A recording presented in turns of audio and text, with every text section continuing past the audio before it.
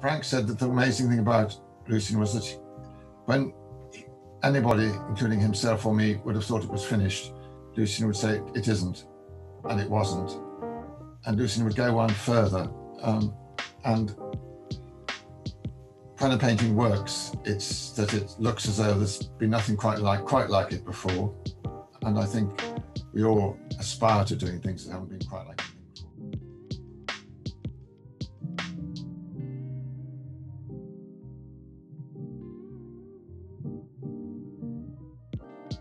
following is a conversation with William Feaver. William is an art critic, curator, lecturer, and an artist himself. From 1975 to 1998, he was a chief art critic for The Observer. In 2019, he published the first volume of a two part biography on Lucian Freud. It was through reading this book that I was first introduced to William's work. Freud is regarded by many as one of the most significant artists of the 20th century. William's account of his life is honest, insightful, and a great read. On the podcast, we discuss the life and work of Lucian Freud, as well as his contemporaries. If you like this conversation, review it with five stars on Apple Podcasts, follow on Spotify, or follow me on Instagram at Recorded Time Podcast.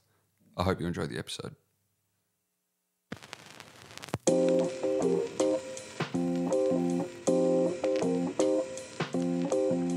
Yeah, sending this one out to my man Killer B.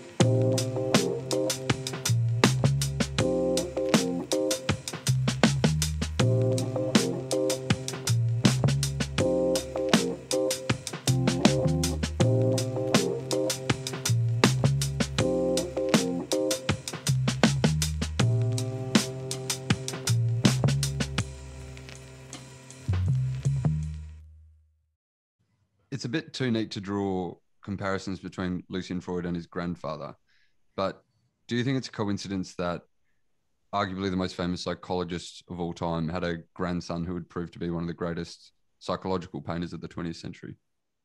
I think it's neat and, and true enough, um, but to say that um, Lucian got a, a, head start because of his famous surname uh, uh, is, is true, I think. And also there's a, there's a definite correlation between um, the achievements of the grandfather, which were titanic and actually in a way more famous in the days in the 19, late 1930s to the 1950s, more famous than he is today, possibly. Um, and um, Lucian couldn't but grow up conscious that there was this great name hanging around his neck and it um, affected his work, but not in the sense of being literal, not in the sense of um, actually sort of um, doing paintings in the spirit of the works of Sigmund Freud. But do you think it was something in the family then, just this preoccupation with uh, human psychology?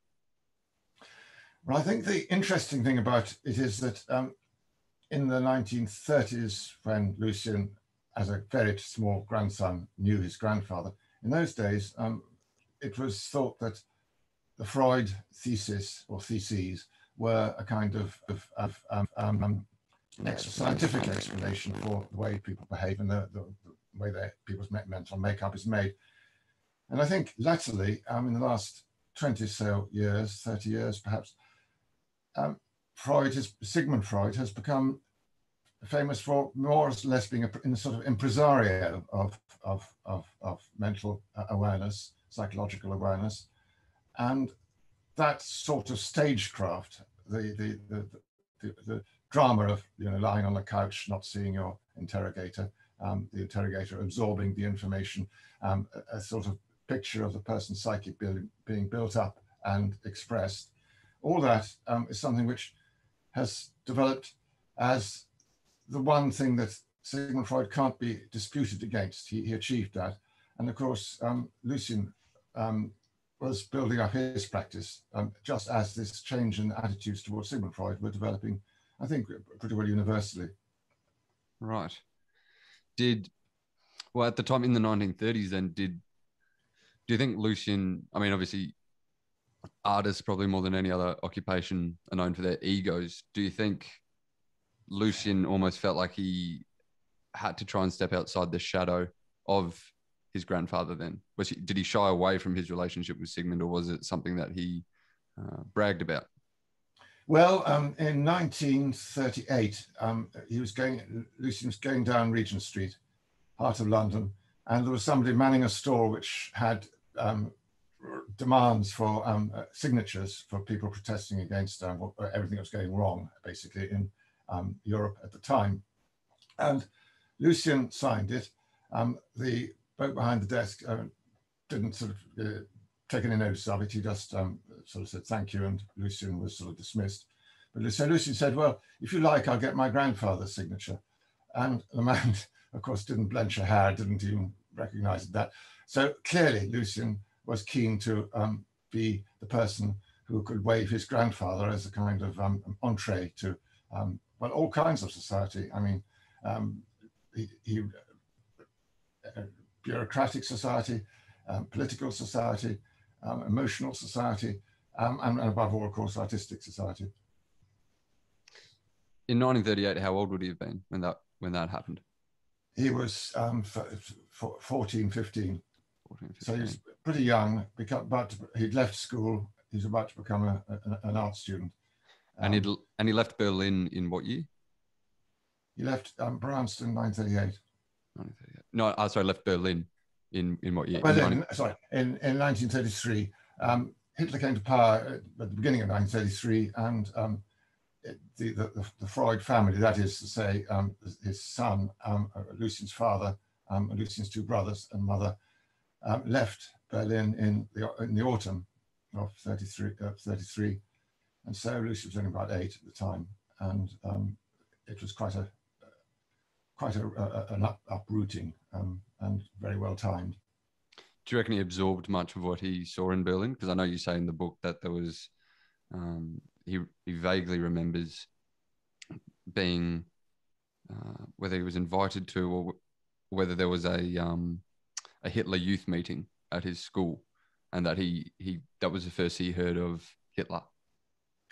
Yes, I mean, it, Lucian's stories about Berlin which usually turned out to be pretty accurate. I managed to check them against a, a, a, a girlfriend same age as him um, at, the time. The, the, the, problem that the family faced was what, what, what to do, and uh, this applied to, of course, presumably every Jewish family in Berlin. And the ability to move internationally was all the better for Sigmund Freud. I think that that you know this this name got them passports. This name got them um, a, a, leg start. But um, Lucian's awareness of of um, anti-Semitism, persecution, all the all the things getting worse, was was, pretty vague. Um, he saw the Hitler Youth as a as a an organization which is basically devoted to campfires and cooking sausages um, and um, that teachers said strange things to him, like that um, that Lucian wasn't um, to consider himself to be one of the one of the class, um, that he was uh, something outside, and not only was he not not working class either, um, and echt middle class, he was someone who could fend for himself.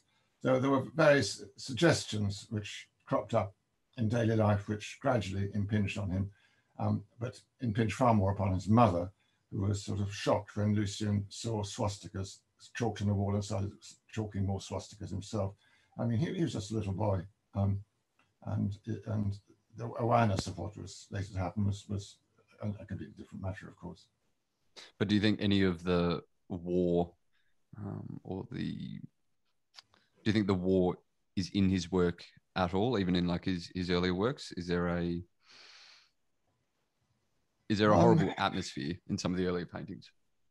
Well, there's a drawing I found which is which shows um, hundreds and hundreds of, of bombed houses um, in North London, the part of North London where he lived, um, and it's a kind of view of a, a sort of a, a, noddy town, a toy town. It's not a horrors of war um, drawing at all. Um, Lucian had scary, very scary adventures on a transatlantic convoy. Um, he sort of ran away to sea at the age of 18 and, um, and did not fit in as a, as an emergency auxiliary sailor. Um, but apart from a bit of bombing, shortages, getting by, um, was very unscathed by the war, really. Um, and as in the rest of his life, um, it was his life and not a life of huge social participation. I mean, for example, he refused to um, have his name registered as a, as a owner occupier of, a, of a, any building because that might mean he was going to be uh, checked up on by the police and um, get into trouble for all sorts of traffic infringements.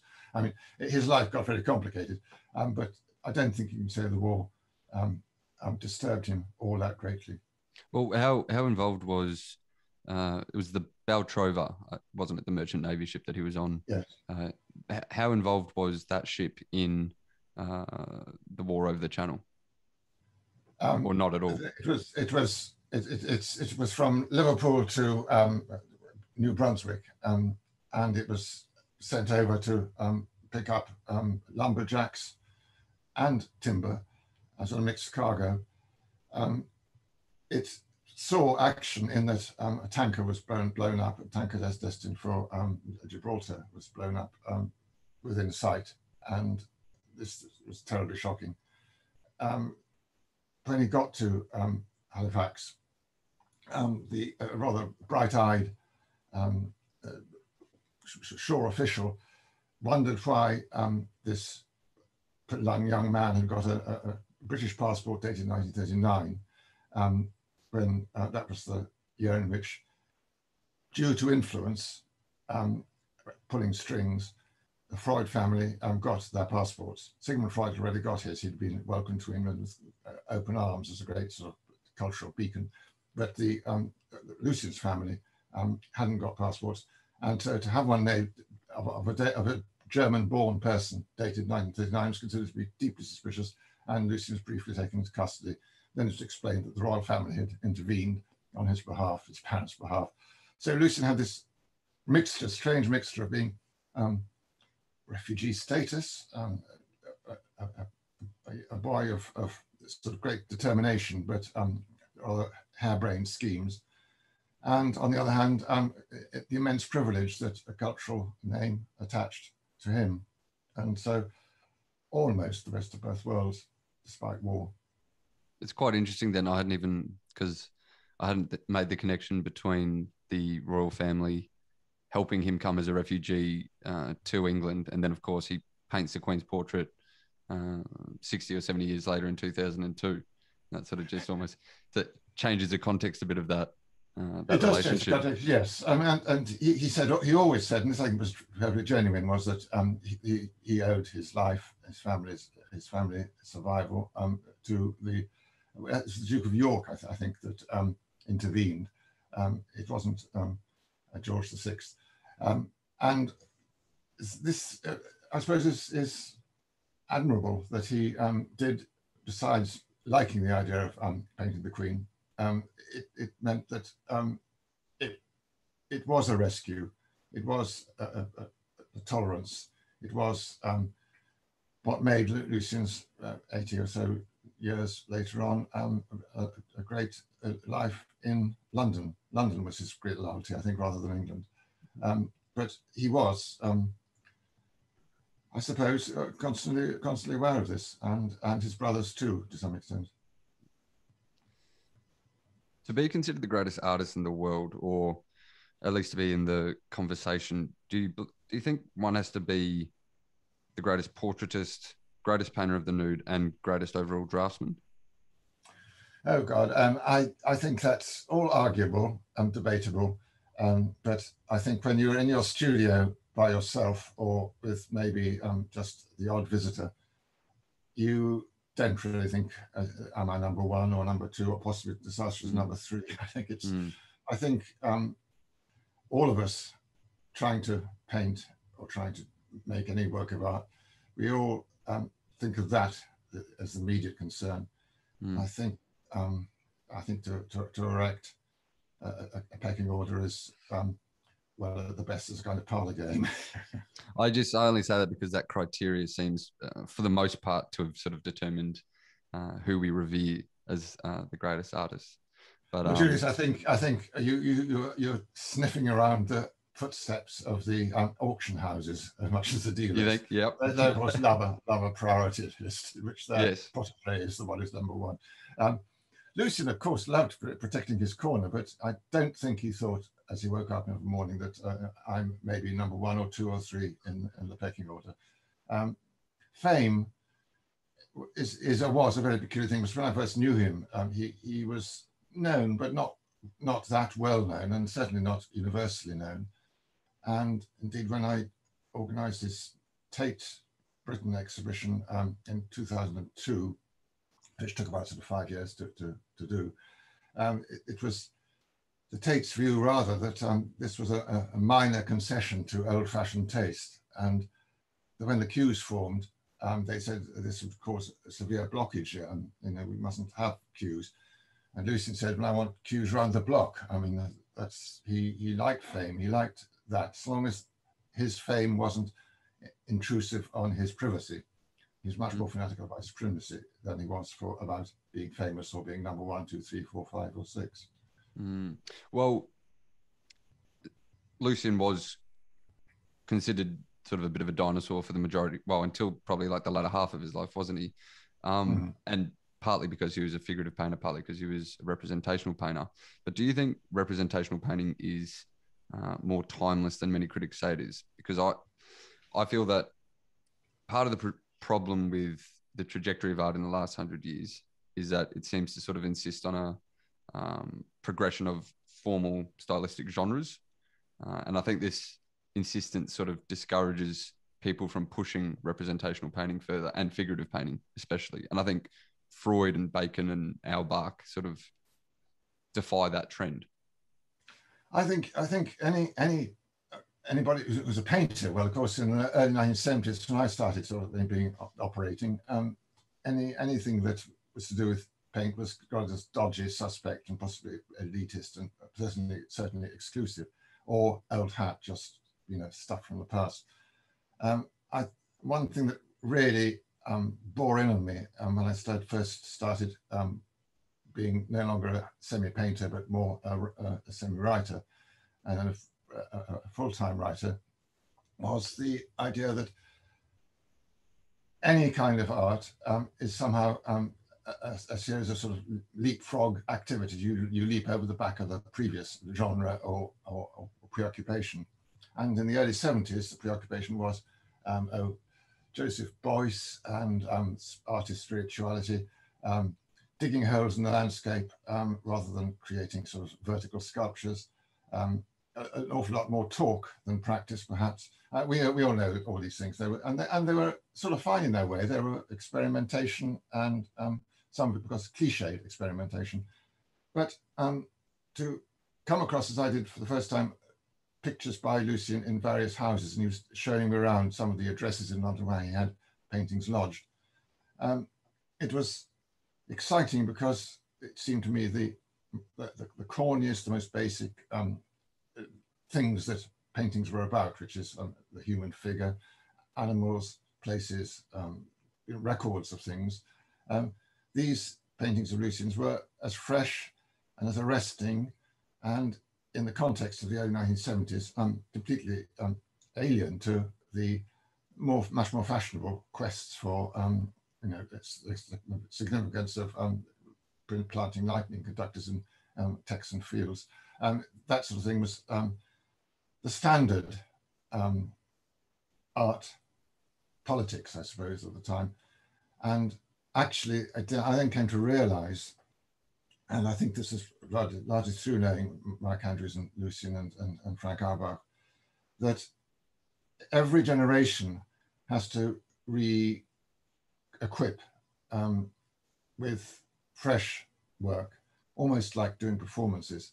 Um, that uh, the painter, and I'm primarily uh, interested in painting and being a painter, the painter, and I'm sure you, you find this too, every new work is something new and fresh. And it may even be in the style or reflection of the past. It builds on the past, it jumps from the past.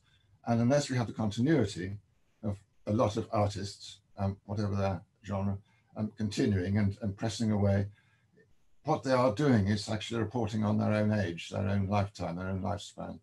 And um, did this marvelously, that he stuck to um, the room in which he was painting, not a lavishly appointed studio ever, um, the people he was choosing to paint, people he had some sort of emotional engagement with or intellectual engagement with, and the fact that um, art is so slow and so um, tiny. You know, Lucian's paintings, a few hundred paintings from a lifetime. Um, these works are kind of pebbles thrown into the sea, and they they they either skip like um, a, a Barnes Wallis experimental um, uh, thrown stone, or they disappear out of sight altogether. But the job of the artist is to actually do it, um, regardless of style, content, or even approach and attitude. I think. But so you feel that Freud's subject matter is almost traditional in one sense, but he depicts it in a because I mean, you look. I always feel that he could have existed in uh, any other century, even with the subject matter that he chose. But there's a originality with which he paints it that is very distinct of the 20th century. And how do you think he reconciled, yes. reconciled those two contradictions? I think he did. Um, I think it's, it's, quite quite amazing. Is that um, you know, let's see, um, Bruce Nauman, perfectly respectable, good performing and an artist working in neon and all sorts of materials and all sorts of attitudes.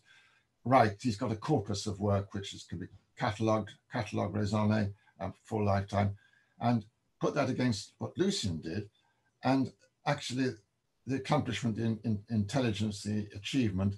Um, well, both have some, um, but the paintings were so rigorously edited and destroyed if it didn't come up to scratch, and um, so um, relentless in their way. Um, Lucian's um, had many um, diversions, including the horses and girlfriends and so on. Despite that, the, the center of his life, the, the, point of his life was to paint.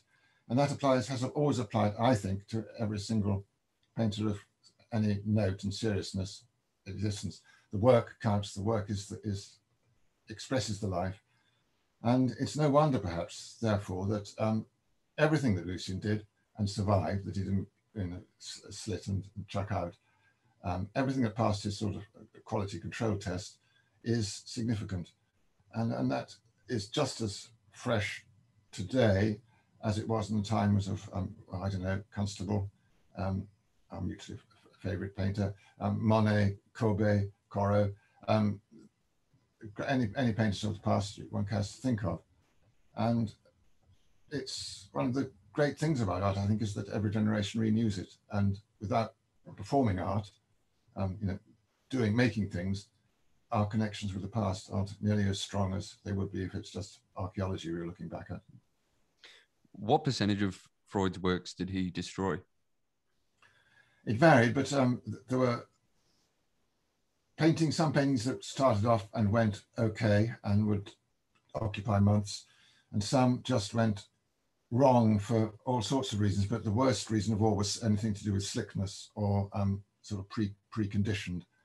Um, he at one stage, he when the painter, American sort of London American painter uh, uh, Ron Kitaj, um, his wife died, and um, he accused um, the critics of their destructive writing having killed her, uh, having a brain aneurysm, poor woman. Um, and Lucian thought the only way of cheering up Ron was to um, offer to paint him, which he did. And Ron then infuriated him by trying to have a look at the picture, a sly look at the picture at every stage, um, you know, every every um, session, and the painting just did not come right. And I saw it, you know, occasionally. Um, and this larger than life character had been shrunk to a kind of puppet head, and it just didn't work. And that got um, slashed um, and destroyed. Um, a, a, bit of it survives, and I think it could, is exhibitable for historical reasons. But um, but Lucian, um, no, dozens at a time would, would be, be wrecked. And there is a kind of satisfaction, I'm sure you recognize this, that um, you've worked, worked and worked and worked on something, and you put everything into it and think it's going to be good or it's going to do something, and then you realize it's not. So the, the, the, the gesture of smashing it is um, it's something you screw yourself up to, and afterwards you feel much better. Um, mm. It's great relief, isn't it? And and the desire to edit things down to just the, the, the passable, the good, is something that every, we, we should all do much more of. I think mostly there's too much bad art around. Have a um, have a tighter filter on on the work we produce. Yes, and not and not leave a great heap of of um, unachieved things um, or, or unsatisfactory things. It's, Yeah. it's a very salutary thing to do, I think. And certainly Lucian taught me that, that um, be ruthless. Um, when you're in the hot frenzy of actually at work, um, moving the paint around, that's one thing. But afterwards, in the cold light of dawn, you should say that's no good. And, and of course, one is invariably right because the thing is destroyed, you don't regret. Mm. Usually. Then you see that with all the great masters, Michelangelo, Leonardo, just destroying hundreds and hundreds of drawings right up to their death.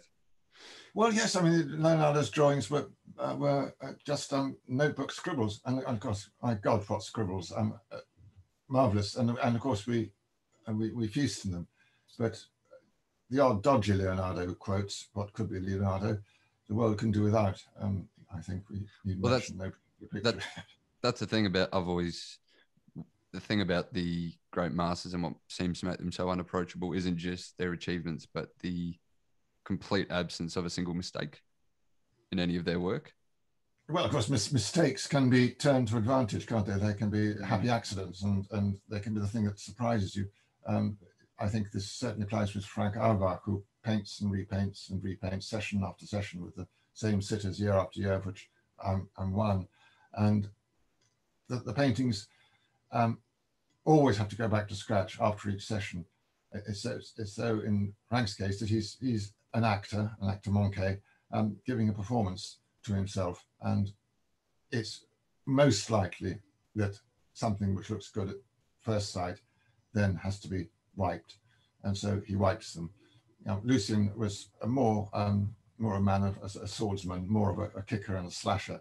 Um, um, but for both of them, the work that comes to completion or satisfac- a fast satisfactory state or a surprising state that remains satisfactory, um, it's a it's a it's a thing quite like I think an actor taking over a role and um, performing it live every night, and recordings of any kind are fine, interesting, but they're not quite the same as doing it every night, and that's what um, we painters should be doing. Um, But Um, were was Auerbach and Freud's approach in that sense very different to Bacon's because you get the sense from Bacon's work that it's been done in one go, and he whether it's uh, true or not, he's certainly you know he's famous for conveying that sense of the accident as though it's just been done in one one flurry of a brush. So did Bacon work uh, at the same prolonged uh, time time span that Auerbach and Freud did? I think all, all, all three pretty different. Um, Bacon was at his best, I think, in the in the 1950s and early 60s when um, the happy accidents of the, the, the swipe, the, the, the blotch, the um, sense of sort of horror or excitement, um, all got mixed up in a most eloquent way. But as soon as it became a mannerism, that's a bit dodgy. And then it doesn't only became a mannerism, but he took to talking about, about one of my more important paintings, or indeed triptychs. Um, the things multiplied and they got, I think, more and more vacuous. Um, but um, one thing that Lucian always insisted on is that if you've managed to do one or two good paintings in a lifetime, that's okay. That's that you can be, um, you know, It was worth it. remembered for that. Mm. So, um, you know, one's got to um, cut. And his his most strong complaint about um, late Bacon was that um, Bacon was, you know, they were in huge gilt frames. They were regarded as incredibly important, the triptychs particularly, when actually um, they were um, Bacon product and rather than Bacon, Bacon creation, I think. So sorry, Uh, and Freud, that doesn't stop Bacon being having been a great artist in his in his period. but so sorry, um, Freud resented them being in gilded frames behind glass. Did he? Or He didn't resent, resent, resent it so much as, as um, think that it was preposterous that Bacon was sort of um, uh, going along with the, with the with the market in a way. Um, you know, the, the bigger the painting, the better. It was assumed. The bigger the gilt frame, the more it was a kind of coronation ceremony to finish a picture. And kind of- um, it got a bit pompous enough itself, basically. I kind of I was reading uh, Keith Richards' bi- autobiography a few years ago, and there's this passage where he's disgusted when Mick Jagger takes the knighthood uh, when he gets knighted by the Queen. So reminds me Well, of of course, Lucian took up things. Um, he didn't become a sir. That's one thing he avoided. He became an OM, which is rather grand and discreet, and he liked that.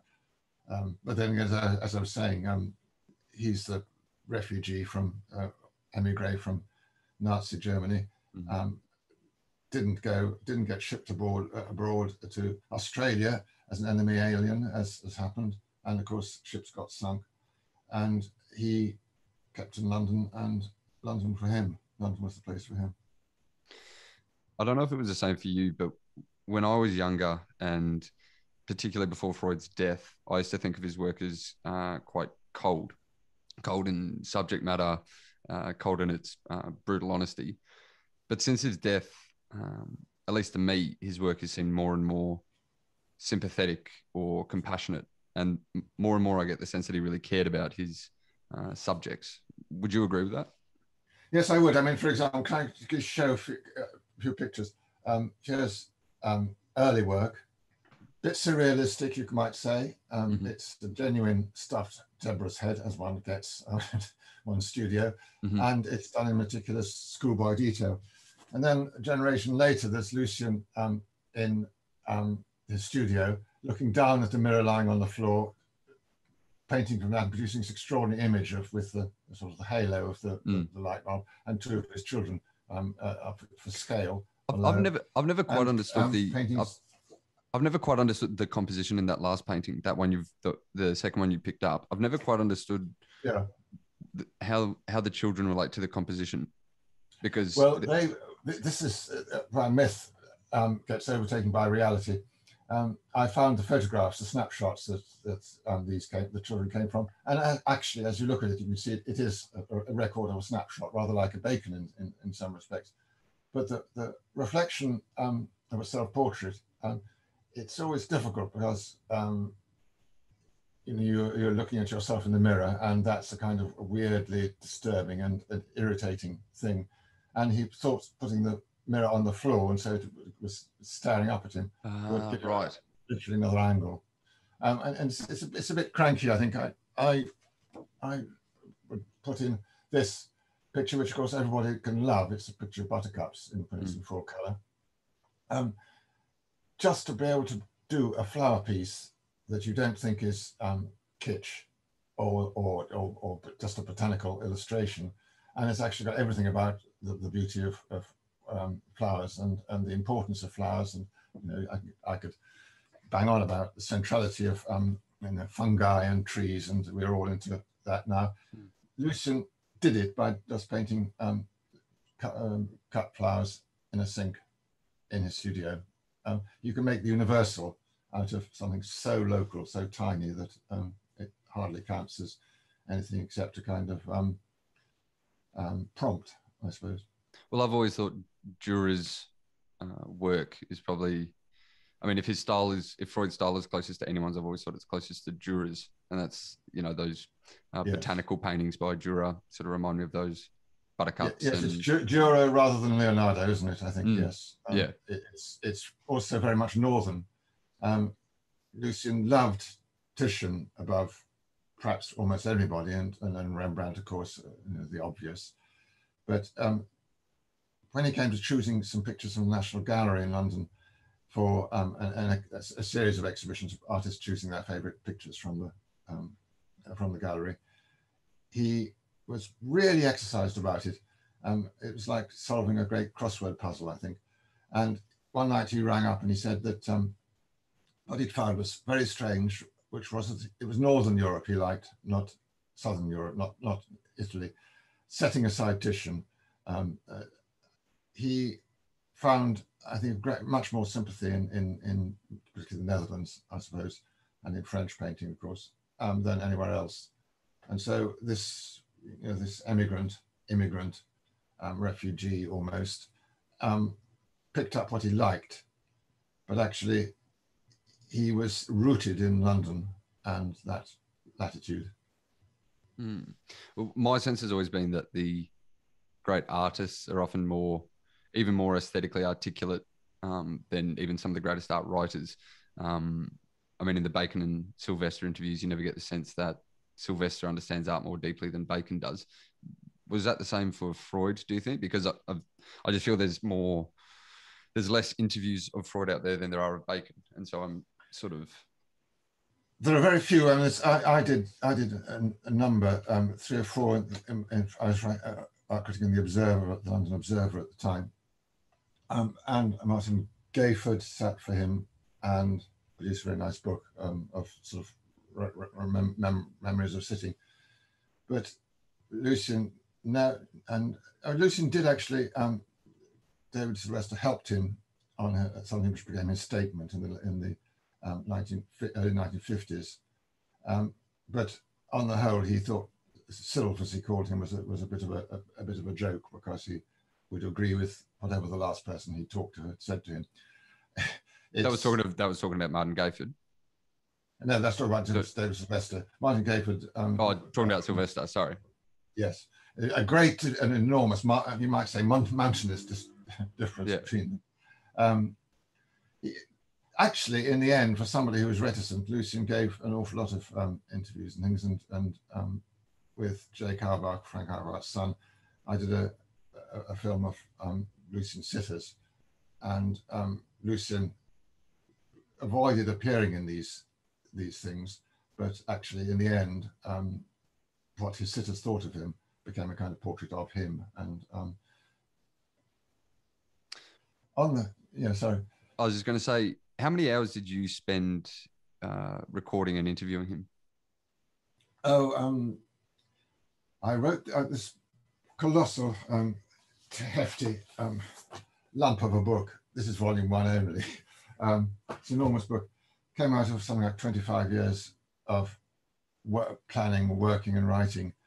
Um, we began when I was asked to do a, a, short monograph, um, which I, eventually I did do, but um, Lucian got more and more used to me bringing a black box, as he called it, along to record him and got very happy with that.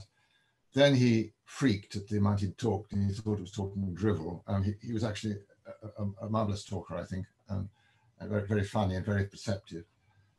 And we agreed that the book I was writing would um, be um, a novel published after he died.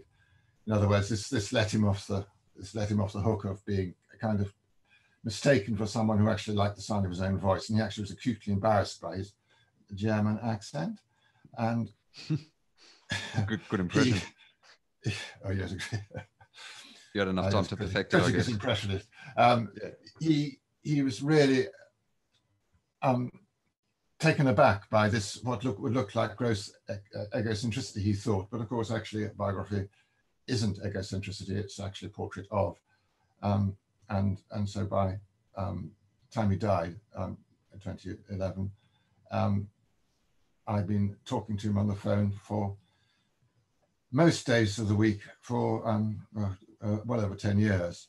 And um, because we were on the phone, and I didn't have his number ever, and I never therefore called him except in emergencies when I went through his secretary. Um, Lucian um, was actually um, stoking the conversation all the time. Hello, William, how, how, how, how goes it? He'd say, or hello, William, how old am I now? And so, although he'd stopped the biography, um, how old in the book did he mean? He he he meant he he would go on talking, and then he'd refer people to me, saying I knew more about him as his memory started to fade, and um, so it was a very rather complicated and, and entangled relationship, and I could only write the book after his death, though, because um, obviously there were um, patterns in his life which um, uh, had to sort of um, disentangle somewhat. Did you find? Did you find that? Did you find you could write about him more honestly and about his life more honestly in his absence after he'd died? Yes, I think so because um, such thing as hurt feelings, or um, and um, it would have been um, a sort of parroting thing to do if I'd been a parrot and just repeated the things he said, and uh, and I wanted to be able to talk to people who he, who he was got on best with, and and people who disliked him greatly. Um, but on the whole, he was a, a, generous spirit with with one or two younger artists. Um, he helped them along. he was generous financially. He was also incredibly demanding. Um, and my my role, having stopped being a professional art critic and being defrocked from that position, um, I was free to operate. I, I, I thought that he was the most extraordinary person, and um, that unless something with his voice in it and his attitudes in it and his, his ambitions in it and his um, wit as well, unless that was on, on, on, on full record, it would be rather like Vincent van Gogh um, with or without letters to his brother. Um, the letters to his brother are invaluable and, and, and are largely responsible for Van Gogh's great fame and endurance, I think, um, over the centuries or so since he died. So um, I was sort of um, painting, a, doing a drawing or writing a portrait of Lucian, not in his presence, but with his voice echoing all the time. Is there something different about? I mean, is it strange being in such close proximity to such an artistic genius, or did you know him so well that it was kind of his his genius was kind of irrelevant to your relationship with him? Yeah, I think um, I, I don't think I'd regard him as genius at all. Um, my, so my daughter, a couple of my daughters um, took a fa- such a fancy, such a love for, for his whippet um, that Pluto, uh, who was a, a bitch, not not a, not a male, mm. and so that's one of those little little little details that need clearing up. Um, they they would uh, um, go to his fridge, Lucian's fridge, when they arrived, to find the, knowing they'd find the best, uh, most exclusively fine um, mince steak um, from uh, Lidgate's in Holland Park, poshest um, butchers you can you can in in the in in Europe, I should imagine.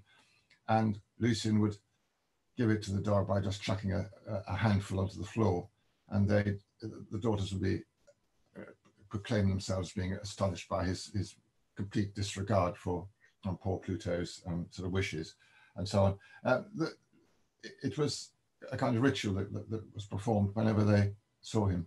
And Lucian's way of talking to them was to um, sort of um, get get to their level very nicely and, and without um, being too sort of avuncular. Um, as so, it was a, a personal collection, and um, it was I wouldn't say affectionate, but it was it was kindly, and I never regarded him as best friend, but I certainly regarded him as a friend. And it was a great relief to me after years of doing columns in which I was castigating stuff and, and being lofty and sort of taxi driver for um, the art world, that I was sort of free to be make my own independent relationships with people. And and um, Lucian and, and, and Frank Auerbach and Michael Andrews of this group, which has been dubbed the School of London, mainly because they painted in London and were friends. Um, gradually, it gradually became established in public view um, while I was myself um, getting to know them better as time went on. How did, how did um, you first meet Freud? I was um, living in the north of England in Newcastle, and I um, got on to writing for the Sunday Times magazine, which in the 1970s was a, a really big, big, big deal. Um, you know, the newspapers were still making profit. Um, color mag- magazines were a novelty. And they wanted to do a great splash about this almost unknown Lucian Freud. Somebody else started writing an article, but asked too many awkward questions, Lucian claimed. So he put a stop to that.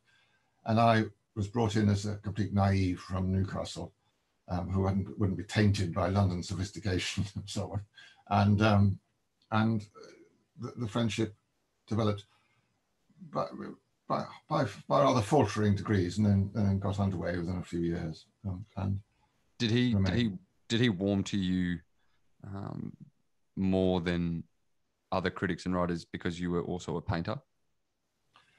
He liked that, yes, and he was very, very kind coming to my ex- exhibitions, and um, and not blowing up, but saying, "Oh, that's the landscape you could walk around in." That's that was praise.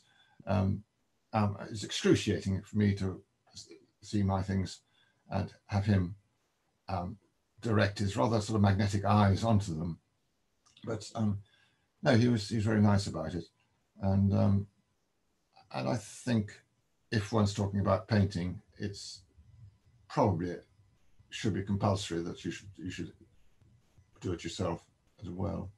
Because um, I know that. Course, some painters have become good writers. I mean, there there are. Um, it can be the other way around, can't it? Because I was watching that documentary, uh, Lucian Freud, A Painted Life, and I think uh, David Dawson talks about how uh, Freud warmed to him because he was a painter himself. And oh yes, absolutely, and um, and it meant that he was um, always got his mind half on something else that he was doing. Um, case of David, um, you know, a, a mile or so away in his where he lived, and it's yeah, I think it's essential. I, I think I think actors are probably the best judges of actors on the whole, and theatre critics are, I would imagine, um, actors manqué. Um, uh, I think I think the, the roles one's juggling the two or three roles if one's writing and um, doing the, the art itself or trying to do the art itself.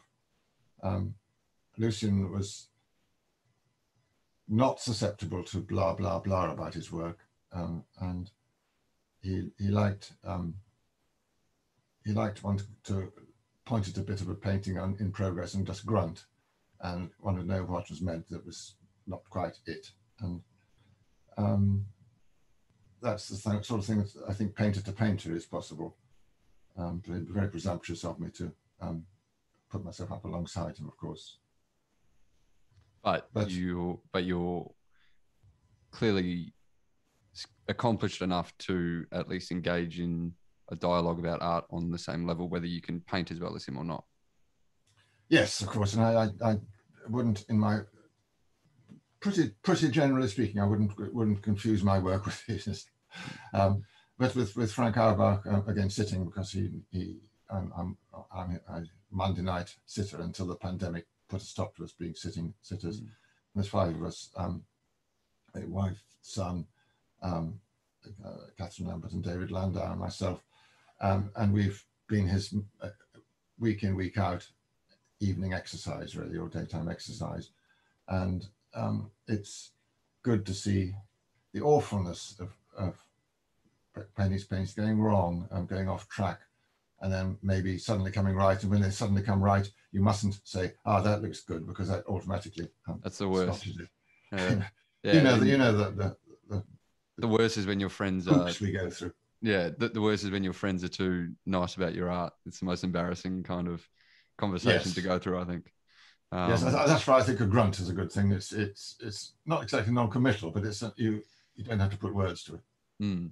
And a lot of my friends aren't uh, involved in the art world to any degree, but it's interesting. I often cherish their opinion on my art more than uh, someone who I maybe went to art school with, just because it doesn't seem uh, polluted by you know this highfalutin jar- jargon and um, you know kind of overly complicated uh, language about art. You just get a much more direct. I like that. I don't like that. You know that captures this. It captures that. So yes, and and and you get your and you get to the you know that how important it is to clean the brushes after the session, and that ritual sort of lets one uh, climb down. Um, and there's all sorts of almost fetishistic bits mm. about mm. getting on with painting, isn't it? I mean, my fetish is to go out into the landscape and paint on the spot um, something Lucian never did, and um, and he would remark on this. But uh, but actually, um, and we all have our little superstitions, don't we? And and uh, our, uh, not exactly tricks, but habits. Um, and it was there is a kind of um, um, clan to painting. I think it's it's um, antisocial, an antisocial activity, which very very very strong social repercussions, doesn't it? Mm. It's um.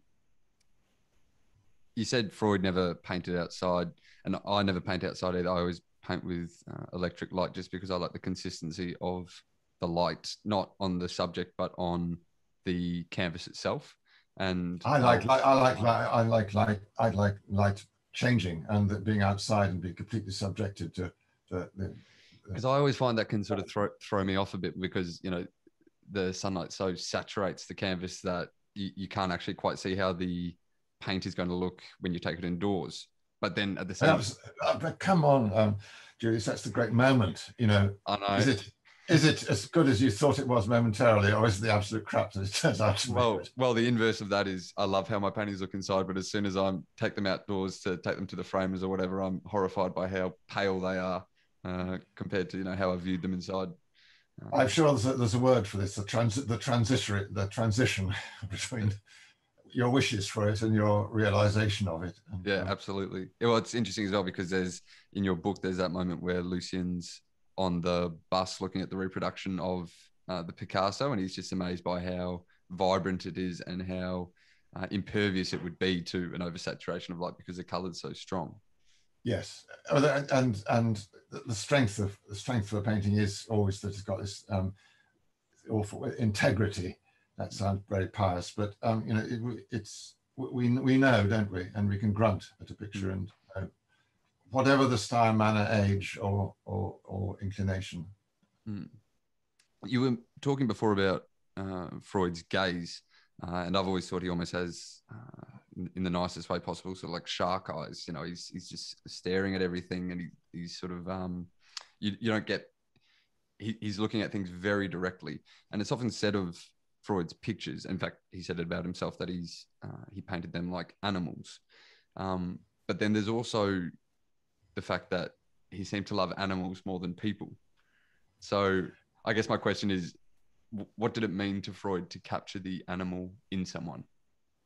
Well, I um, was at some event and I was standing um, next to um, a director of the Tate Gallery, um, I won't name, and my whippet, um, which had, which had gone to the, this, this private view thing, walked past and he didn't realize it was my dog, but he just folded his arms and said, I hate animals.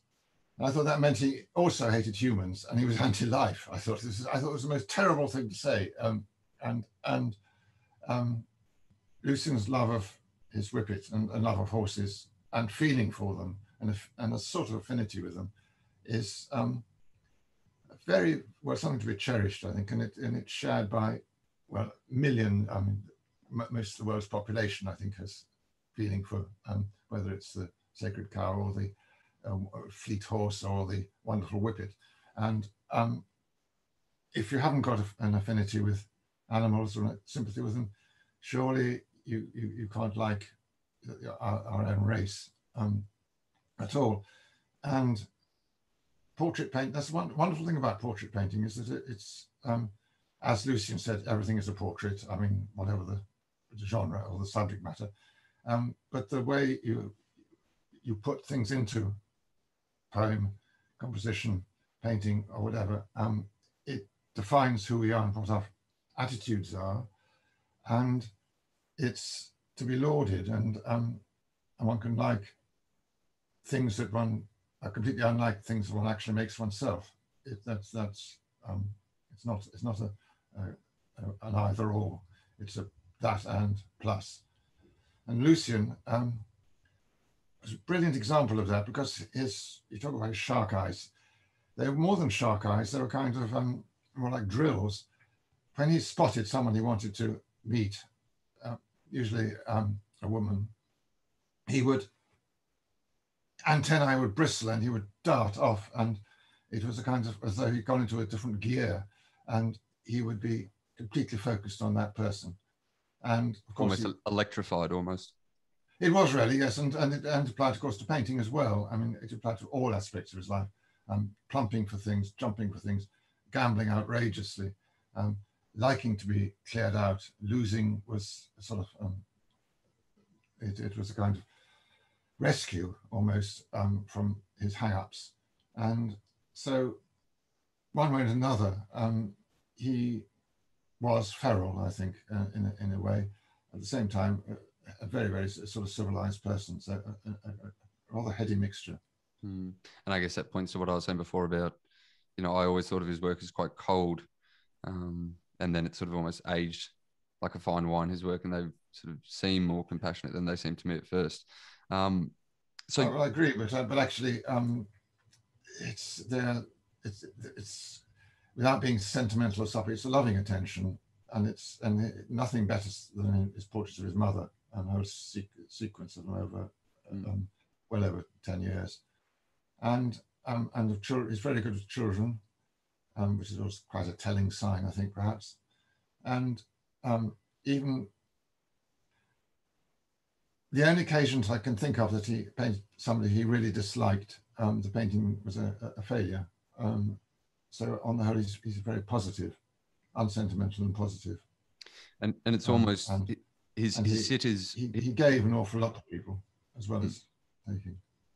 Well, he immortalized them, I guess, in the paintings, which is a gift enough. But he, it's almost his works. I guess his subjects look bored not they're not cold depictions of them. Come on, they're, you. I mean, but that's but that's what I'm saying. I'm, I yeah. I, don't, I don't think they're cold. More that he's spent enough time with them. Um, like when I paint someone's portrait, I have to spend at least two hours with them. I know Freud spent you know upwards mm. of hundred hours on some of his portraits, but it's only after the person's got bored in your presence that you can really you can really capture what they really lo- look like it's it's as though you've met somebody the first time. Your conversation is very stilted to start with. It's, mm. it's, it's, ritual, isn't it? You know, how are you? Where do you come from? All sorts of thing. Then you um, don't. Well, when you get to the point where you don't have to talk, or in the case of painting them, you insist that you don't talk, perhaps, mm. and or or you control the talk because it's it's your session, it's your your um, your work. I think that um, in Lucian's case, there were certain kinds of people he could not paint because they they weren't sympathetic in the sense of um, being possible to be in the same room as. I think there are, there are categories of people one doesn't want to be in the same room as, and he never um, succeeded in painting or wanted to paint people like that. And of course, it demands great patience, and patience means boredom. And um, some of the more canny um, sitters um, did they had themselves done when asleep or as good as sleep asleep and in comfortable positions rather than very uncomfortable positions. Leigh Bowery, um, big show off that he was, um, uh, did the most complicated poses uh, in order to just show Lucian that he could he could manage it. And um, is that and is that why Freud cherished cherished Bowery as a sitter because he would allow him to try out new figurations that no other sitter would have the time for or be able to do. Yes, and and of course um, his outrageousness impressed Lucian and his his his sort of absolutely blind courage. I mean, I knew Leigh as as, as a somebody in mufti, um, you know, wearing a very boring wind cheater, um, with a, a wig on or a cap, um, not not even very big, um, and uh, so the transformation when you see this um, little, little, little bloke I used to meet in the stairs, um, when you see the paintings, is that he's not just made him heroic, he's made him um, fallible and intimate and, and a bit jokey. All sorts of things which you don't normally get in a portrait. And that, that was, I think, I suppose what's so marvelous about Lucian's paintings. He actually got into the character of the person when it was a, a successful painting. And um, you saw people as, as never before. But Bowery, the paintings of Bowery are almost monumental, like a almost like a Buddha or something. Is the you know? yes, he, he's he's twice the size. Uh, he's far bigger than he was in in in life um, when he was a bit normal, and you couldn't have anything more cruel to say about um, him than that he looked normal. Um, he wanted to be um, this. Well, he was this, this uh, of course, known now this person remembered for the photographs of him in his amazing get-ups. But it is significant that um, that he thought that being painted by Lucian was the, the, the most u- true performance that he ever had. And it's not stripping him naked, although of course it was stripping him naked. It's actually a, a sort of empathy, I think. What do you think Freud painted people nude or naked? And perhaps for the listeners, could you go into the difference between the two? Um, I think to be clothed is to be in a, in a certain disguise or guise. Um, you know, we do it to make ourselves look our best. Um, but the people we know best are the people um, are naked. I mean, I was dandling my latest grandchild yesterday and uh, feeling his he, young enough, being you know, less than a month old, young enough to feel his skin and um, feel that his nakedness was is just the full baby, um, and um, in any intimate relationship, uh, nakedness stops being um, odd and becomes normal, doesn't it? And and Lucian did have this ability to paint people naked as though they were clothed or clothed as though they were naked. Um, it, it's a remarkable thing. Frans Hals could do it, Rubens could do it, Rembrandt could do it. Um, it's, and of course, it's what if one goes through life rooms, drawing these poor people just standing around and being, um, you know, holding still. In a life room, it's a kind of um, exercise that's being done by art students, if they do it at all. And in Lucian's case, paint someone naked was simply a matter of being um, on good terms with someone. The, the whole thing about being naked lost its um, lost its sort of novelty and became normal. And, that, and that, that's why that's so good. That's interesting what you just said that he painted clothed people like they were naked and naked people like they were clothed because I, I, I guess his paintings of people wearing clothes they really do look more vulnerable than his nude subjects, and I guess that's possibly because his nude subjects he was comfortable enough with them that they would pose for him nude in the first place. Yes, yes, that, and if he's painting Heini Thyssen of you know the of, of huge wealth, um, it would have been just that bit too bizarre to have had him naked. I think. Um, anyhow, he, he didn't get Heini Thyssen um, naked, um, and yes, it, the nakedness denotes a kind of intimacy, doesn't it? And um, the, the, the, ultimately rich, or um, well, Alfie, his Irish bookie, marvelous portraits, um, but actually, I, the mind, mind, mind, mind boggles at seeing Alfie naked, but but but dressed, every bit of his suit and his cufflinks and his signet ring and all those things uh, are part of the portrait. Um, uh, I, th I, think there's a slight um, gap between painting someone naked and someone clothed, which um, was never quite bridged. I mean, they're, they're more formal, the dress portraits, and the naked ones are more uh, jokey, intimate, and that's what we've all experienced, I suppose, in, in, in relationships. Um, on the so, whole, my doctor sorry. is not somebody I'd expect to see naked. Mm. it, it is. It's almost as if he paints people paints people as if they're wearing their nakedness like they're wearing high end fashion, like they're wearing their body like it's a you know an Armani jacket or something. They he, yes. to capture confidence in in and a, a, comfort, a comfortable comfortability, if that's a word. I think I think generally yes, generally speaking, that the people who pose for him naked were comfortable about it, and uh, and even even could almost demand it because they were proud of their bodies and or um, didn't give a damn. Um, it's it's it's that every single painting is a new negotiation, I suppose, isn't it? And and uh, and whatever it is. So it was a bunch of flowers. That's also naked flowers and or clad flowers. His portraits of people are obviously not photorealist, but in a sense they were more real than uh, the people themselves. How do you think Freud achieved this, and how did he put more of someone on the canvas than was perhaps even there in uh, reality? Well, um, I talked about this with, Frank on our Monday evenings uh, often enough, and Frank said that the amazing thing about Lucian was that when anybody, including himself or me, would have thought it was finished, Lucian would say it isn't, and it wasn't, and Lucian would go one further. Um, and when a painting works, it's that it looks as though there's been nothing quite like quite like it before. And I think we all aspire to doing things that haven't been quite like anything before. Most of us produce, and I'm speaking about myself, um, produce cliches very often, more often than not. Um, I feel, I feel the same. Loathe the cliche, but you know how easy it is to um, to, to kid oneself with a cliche. Uh, he, it's, it's not extra realism, but it's an extra intensity.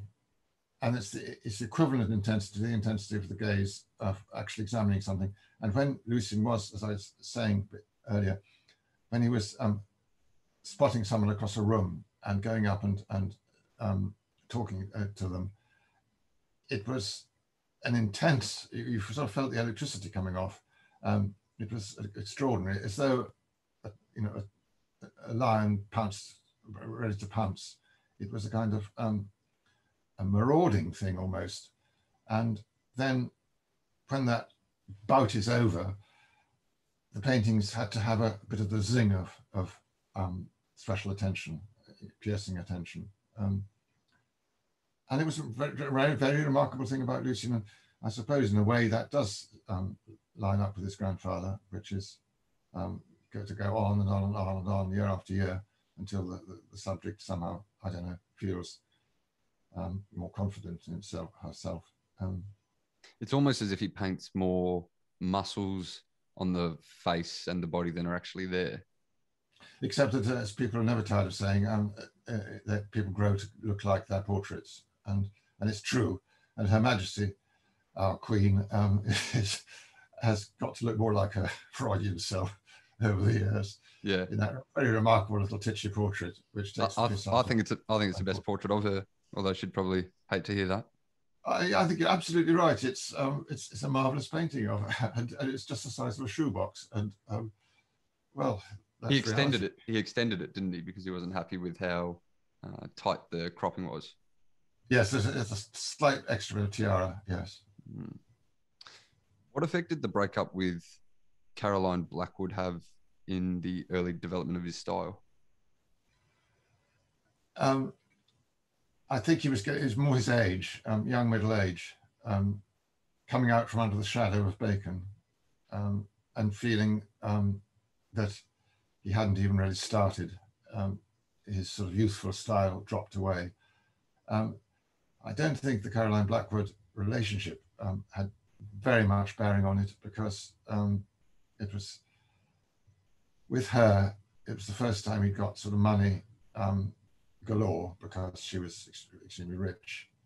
Um, and so he could afford to smash up cars and things at more than usual rate, and he could afford a horse and, and, and, and so on. But it, it rapidly poured. He couldn't, the relationship broke down for all sorts of reasons, but among them, leading among them as, as a painter, I think it was that it um, sort of put him out to grass slightly, and um, it, it stopped him being neck and neck like a jockey um, or a gambler.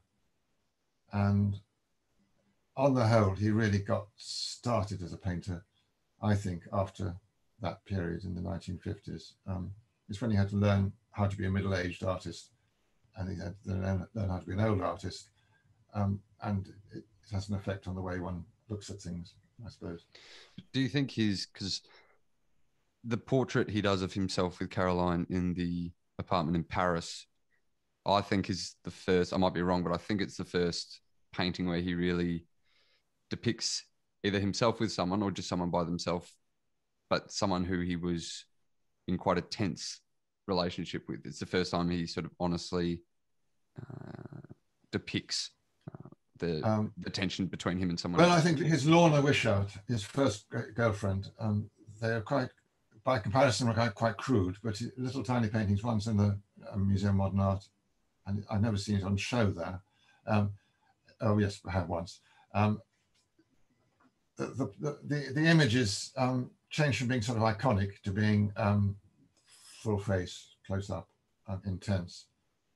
I think the great risks came after Caroline, and before Caroline, he was a young, um, a sort of novice really, um, and doing amazing, some amazing paintings. The, the, one of Kitty with the dog, his first wife with with the dog on the couch. painting. Is it's, that the is that the painting on the of her on the couch with the breast exposed and the dog at her feet?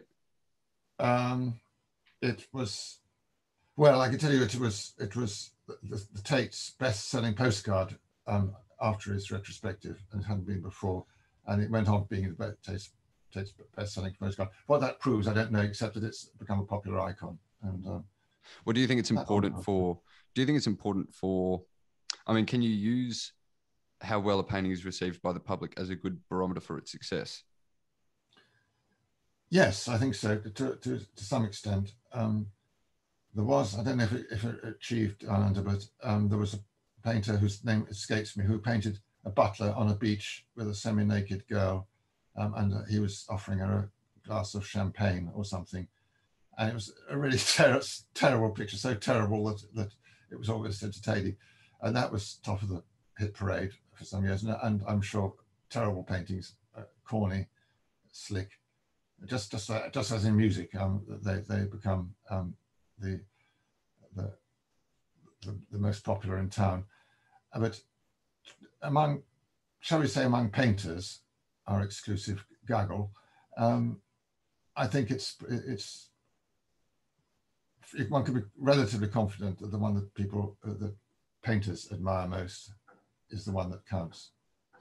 Do you um, think there's a problem in the art world today where too much art needs to be explained by people who are perceived to have a high knowledge of art? I think that's always a, a problem. I, I find that um, on the whole, academic art historians are terrified of meeting a real artist, um, a living, because they're, they're messy and they have ideas which come from uh, very crude sources very often or basic. And, and um, it's like, I'm sure it's like being, if you're an actor watching others act on stage, you have far more tenterhooks, insight, worry, excitement and jealousy, all these things, than if you're just a, a, an ordinary punter in the public. Um, but there is something to be said for somebody producing pictures that hit, uh, catch the imagination. Hmm. Um, and you've got to have an awful lot to you to achieve that. It does. It's not necessarily the kitsch that survives. It's um, the, the stuff that really um, appeals to our deepest deepest feelings. I think. Do you think there's almost a academic elitism in the more sort of postmodern strain of art being produced today? I wouldn't want to be a global generalizer, um, but I think. Um, but there are some truths. Art historians and academics, some of them, um, not all of them, but some of them get completely caught up in um, sort of data which is completely irrelevant. And they don't perhaps quite grasp that each new painting is a fresh start and that we as painters um, are, are, trying all the time to um, do something that, that, needs doing urgently, quite urgently. Um, and there are all sorts of um, ways of rationalizing that, which on the whole um, detract. I mean, academic theories about what's being done in paint are never as powerful as what's been done in paint. That's why Sickert, as a, as a critic, newspaper critic, was so much better than his contemporaries as, as critics, um, a, a, brilliant critic. Um, and Ruskin, although he became a boring old nutter, um, was brilliant at description of things that excited him, which is equivalent to seeing a painting, I suppose. And um, and the best critics have a certain sort of relish, I think, which is also helpful. Um, because yeah, that goes to what I was saying before with the sort of insistence on a progression of uh, formal stylistic genres. In that, I mean, a lot of critics will say, you know, after Pollock or de Kooning, what's the point in doing representational painting? But I've always thought that that's that implies that all the ideas that can be conveyed through representational painting were done prior to Pollock, when you know I think and that's that's it's, that is so trite, and it's so it's mm. like saying that future generations mustn't have meals because meals have been eaten already. And yes, about as profound as that, I think. Yeah, yeah. Which which painting do you think first indicated that Freud would become the artistic genius that he did? What was his first big breakthrough? Well, I really like his 951 painting of Harry Diamond standing in front of a potted palm, um, which won him a prize and made his name um, for the first time, and that's in Liverpool City Art Gallery, and it's and it's pretty startling, and, I, th- I think I like it because it's it's uh, it comes from a period when I'm I, I find period bef- before one was around, I think is particularly interesting. I don't know quite what the reason for that is, but that painting strikes me as from the period before I was around.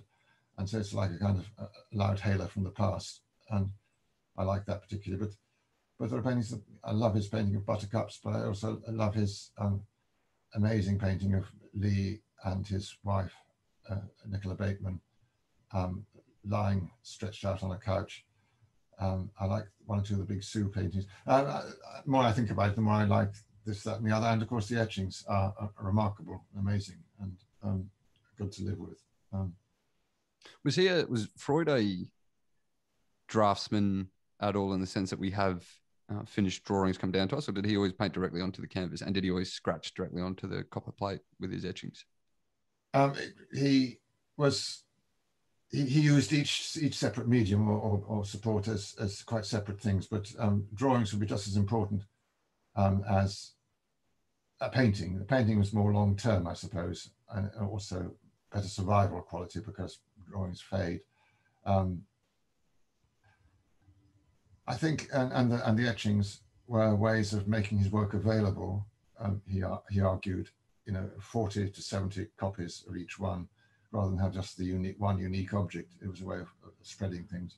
Also, it was a good earner, um, and um, and it was also different from, you know, scratching on a plate from painting processes, and that was a bit of a relief um, when he was very caught up in the painting.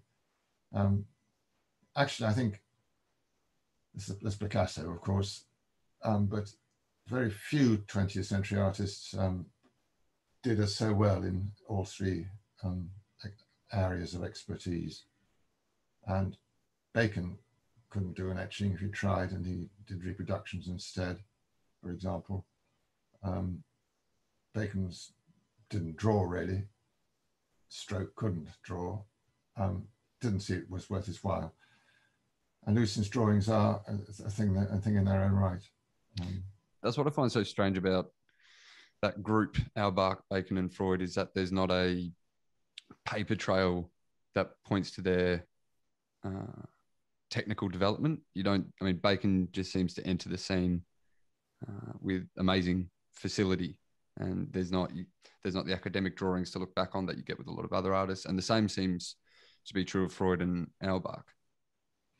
Yes, well, there are there are. Um, uh, start with Auerbach. There are, there are loads of um, sketchbooks because he just draw, draws and draws and draws and draws, but they're fuel for the work he does in the studio. Because he doesn't, he does not erect his studio, his, his easel outside, um, and never never has done. Um, Lucian um, liked the magic of of etching. Um, that and when we would go and, and, uh, and etch the plate in and watch the bubbles rising and, and then get the first pull, the first proof. Um, that was a kind of uh, very tense magic game. Um, one etching would take as long as any painting to do, so it's, they were equivalent in that way. Really? But, but yes, and, and Bacon, of course, um, had this thing of, of being instinctive. And you've got to be very beware of people who say they're instinctive because they usually aren't. They're usually deeply pre-programmed. And he really had no use for drawing because his paintings were meant to be sort of apparitions. I think uh, that was his ambition. Um, and so there are no drawings of any to any effect really, and no no prints because that demands again more consider deep consideration. He wanted to be the the ringmaster, I think, um, doing spontaneous paintings and as long as they were spontaneous, it was it was fine. Hmm. I always find there's something very aesthetically satisfying about uh, being able to see the process of how a painting was made, and sort of that's why I find I think I think photorealist painting isn't nearly as exciting because you're sort of yes. What what's the difference between that and a photo? But something like an etching, which so exposes. Pixels is the difference, isn't it? Sorry, what was that? Pixels is the difference, isn't it? Yes. Pixels yeah, yeah. can do it better and and are more interesting. Exactly. You're, you're just as disconnected from the artist as you would be from the printer printing out your photo if it's when it's photorealist. Yes. But with yeah. with etching in particular, you're you're so aware of the process. I mean, uh, in a painting, obviously you don't have to cross hatch, but in uh, an etching, you're very aware that that collection of you know hatches is why that looks like a shadow. And I've always felt that makes something very aesthetically satisfying. In the same same way, I think bacon is so satisfying to look at because you're so aware of, um, you know, planned or not, the the accident that he splashes onto yes. the onto the canvas, and it's you're, you're aware and, of and, and, and realize that your your accident is actually a, a, a being a great benefit. It, it sparks a picture mm. of. Yeah, yes. yeah, and you're aware of the the action that that's taken yes. place to to reveal it to you. Um, Freud's personality always seems to be at odds with his subject matter, I think, because he strikes me as a very sort of bemused individual who never took things too seriously. But his art, on the other hand, has a distinct seriousness and intensity to it. Would you agree with that? This is Lucian. Lucian, yeah. Yes. Um, occasionally, when he was broke, he did little pictures of flowers and, and, and strawberries and things, which um, exquisite, but actually a bit daft. And, and that's how he thought, came to see them, I think. Um, they were done in order to get a bit of money together. Um, on the whole, I think the stuff he allowed to survive and the stuff that um, he's remembered for is the most is what happens to be the most intense intensively um, sort of one but mm. unlike his grandfather, he was much more of a participant. I mean, I, I imagine his grandfather sitting on his chair with the, you know, the patient fa facing away from him um, was a setup, and Sigmund Freud wasn't really um, doing anything except sort of listen or make as if he was listening. But Lucian is both on the couch and facing the couch at the same time. But you could almost, uh, aside from possibly Bacon, you could say that Freud's subject matter is more serious, whatever that means, than any other painter of the 20th century. But he, he always seems like such a, you know, he's always just reciting sort of uh, poems and sort of joking poems, mm. and he seems like a very bemused. Um, he, he didn't take himself or his work too seriously, except when he was painting it. Uh, absolutely, that's true. Um, but equally, um, when he saw his retrospective sort of on the walls, he didn't really, he, this is, this is one I did in 2002. Um, he didn't really want to see it. He wanted to, he, he left it to me entirely to, to hang it and, and, and everything and make the selection. Um, looked it over and, and grunted, said that was all right, but didn't want to be seen to be being a showman himself. Um, and when he saw the, the finished exhibition, he went round it. Um, he was pleased at the look of some things, but the thing that really made him run away and not go back except once in the entire run of it, and it went, you know, to Europe and, and, and the States.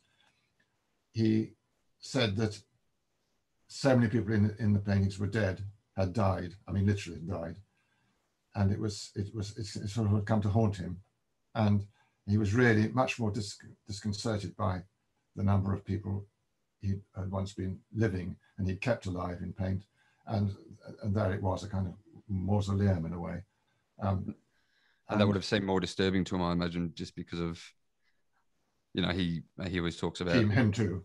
Well, yeah, for him too, but just him, him talking about the his works seem the, the figures he paints seem to live a life of their own, and they almost live biologically. They're not just representations. And um, yes, I mean they're more memorable than the person themselves in a way. Mm. Um, yes. Do you um, think? Do you think he viewed himself in the in the context of the great masters? Did he did he strive to be the Picasso of his age? Well, I, I, remember, I remember, very well. We went to Paris for the day um, to see a, an exhibition, which I said he really must see, and and he um, he loved that, because Ingres pursued things to an end which wasn't his end. Um, you know, there was sort of no competition uh, and, and um, no, not not that much overlap. And I think he was, I think, and I suppose we all have dreams of immortality, um, which normally life just squashes within seconds, doesn't it? But um, if you have produced such memorable things which people can refer to as as being um, favorite paintings or, or, or things they travel miles to see, um, and, and, all these sort of aspects, then you do get find yourself propelled into a certain kind of exclusive category, I suppose, um, because there are very few people who produce work that um, is instantly recognizable and uh, uh, and appeals to people and and disgusts people too, of course, as well. Some some people. It's it's a very strange state to grow old as a painter, and you go old. Um, usually managing to work longer than most people. I mean, uh, sportsmen have given up decades before, and and um, and, and, writers tend to loathe their their writing equipment, um, and and poets dry up and painters carry on because it's like a kind of physical exercise, isn't it? And it's quite healthy apart from lead white. Lead white. Um, and well, all I, all I can look, look is, sort of stand back and, and marvel, I suppose, and um, be pleased when the person dies that that all the work's there, and it's but it's no substitute for the person themselves. But it's um, it's it's so astonishing to achieve that kind of um, distinction. Mm. Do you think the? I mean, I've always thought that the motivation for a lot of creatives, and whether they know it or not, is having a kind of life beyond death, um, which you kind of gain from making things. And I think when people talk about being scared of death, what they really mean is they're scared that the world goes on without them and that they become irrelevant. And art, I think, helps people uh, defy this. I mean, if I stopped, if I stopped painting or doing any of the work that I do, it would feel like a kind of death to me. Yes, I think I it's it's, it's it, it gives gives gives one's meaningless life meaning, doesn't it? Um, um, Turner used to go on about his children and and the children that were cripples and the paintings that didn't quite work were the ones he sort of protected more fiercely than anything else. Um, and Turner had didn't have any acknowledged children, so the pictures were his children. Um, and it, yes, it's it's a bit of an illusion, though, isn't it? Uh, because actually, um, you know, flood, fire, storm, um, global warming can do for most um, buildings and most paintings, possibly. Um, but it is life extending, isn't it? Yes. Mm and, yeah, and as a, as a, great, very good preoccupation. It's better than making wars and and and um, inventing horrible things and um, stealing things or and robbing people of things. It's it's the wonderful thing that Matisse did. People accuse him of being um, too complacent during the Second World War. Well, bloody hell! Um, actually, Matisse produced, has produced more net worth joy and pleasure since his death than most people manage. Mm. Um, and it's the most, I mean, it needs no translation, so it's universal, which is also good thing. It's got absolutely nothing to do with diversity or anything. It's all those labels and epithets and categories mm. disappear in the face of whoever did it. Um, mm. Yeah, universality is better than striving for diversity, I think. Um, yes, I think that's a good. Yeah. But it's kind of because if you're into art, you're not really into just art, but you're into the personalities that created art. So it's kind of like you and I know Michelangelo very well, even though yes. he lived 500 years ago. And I guess that sort of, I don't know. I want. I just wonder how subconscious that motivation is for all creatives. And I think you have to be uh, you have to keep it in your back pocket rather than uh, flaunt it. Um, but it's it's it's incredibly reassuring. I think that the great thing, most memorable things in the entire world, which includes um, pyramids and, and, all sorts of, of, objects as well as paintings, um, are, are, are, are criteria in a way, aren't they? They're the, the things that appeal generation after generation after generation. That's reassuring. Uh, whereas um, you know Hitler was basically rather a negative little bugger, and um, you know, the little man is the little man as Freud called him. Yes, yes. Well, it's interesting the great artists.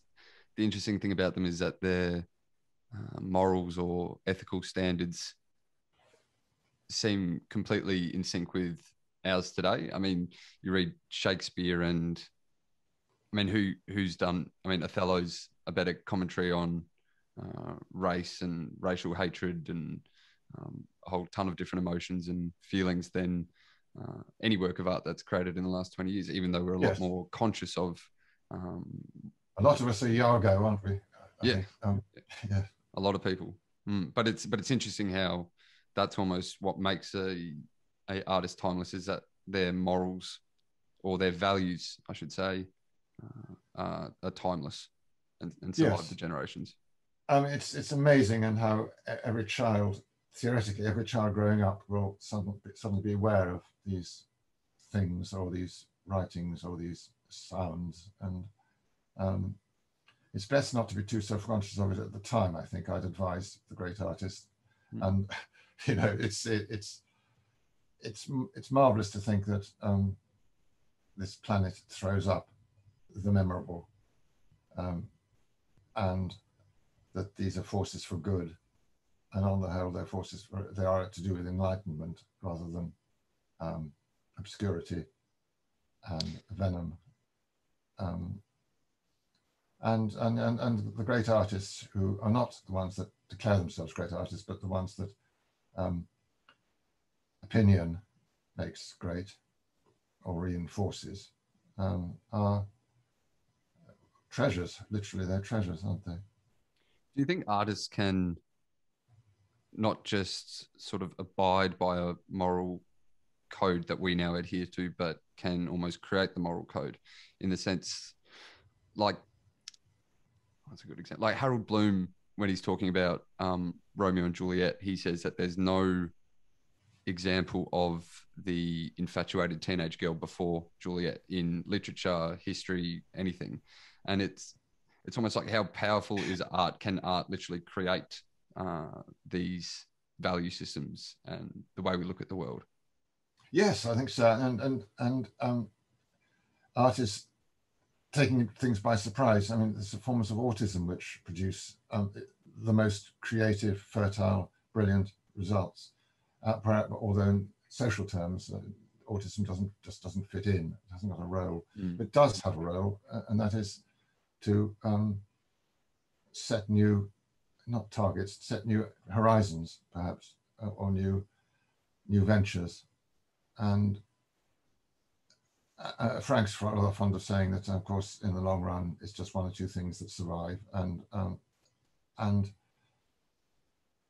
the, the job of us um, is to join in the join in the in the in the race game, um, and we aren't necessarily the winners um, because and nobody can actually necessarily forecast who is the, going to be the winner.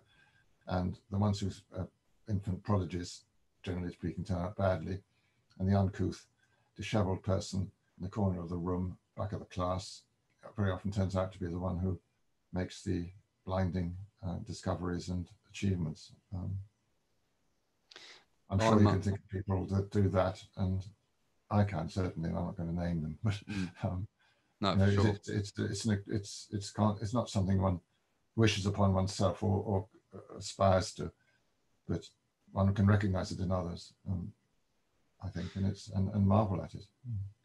I'm. Uh, this is quite exciting for me because I'm Frank Auerbach's probably my favorite uh, living artist. Um, what's he like as a as a person, and what's it like to be uh, such close friends with him? Um, he's the most extraordinarily generous and and um, for, for, someone who's pretty reclusive and regards being reclusive as, as normal, he's inspires immense uh, friendship and loyalty. Uh, his little gang, um, we talk we talk on a Thursday morning at the moment, you know, because of lock, lockdowns, and he hasn't quite got back to a full studio um, arrangement, and he was 90 three weeks ago. Um, he's someone who's who could have described himself as a refugee who deprived of his parents you know, because they died in Auschwitz, um, and he doesn't. Um, and and he's produced this sort of um, this parade of, of paintings of his local surroundings and of people he knows, um, which,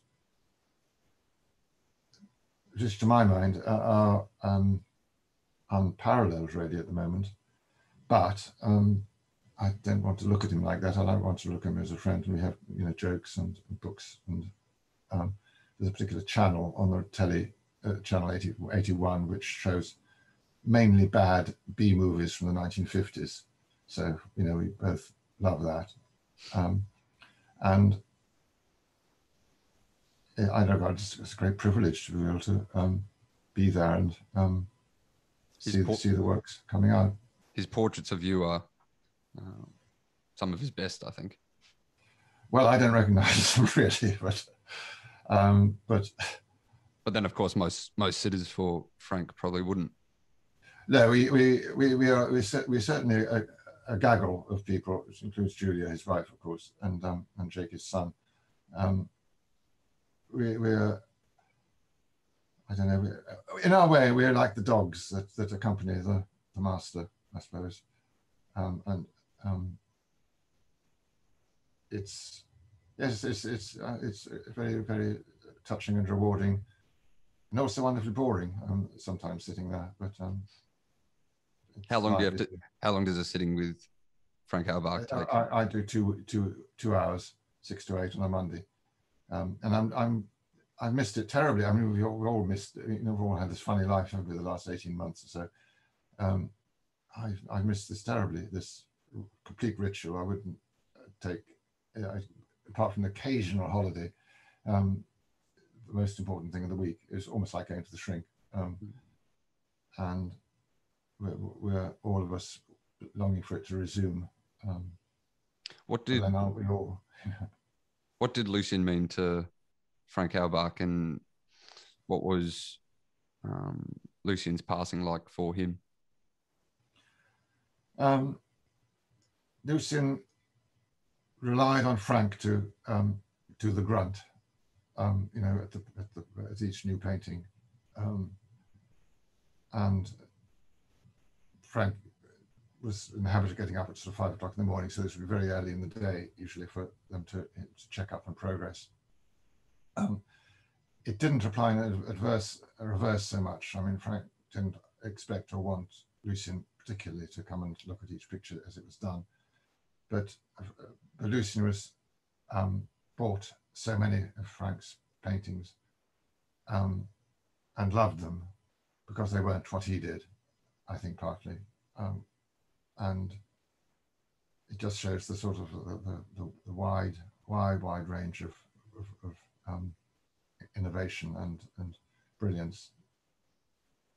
Did did Lucian value Auerbach and Bacon's opinion on his work more than any other artist or more than any other person?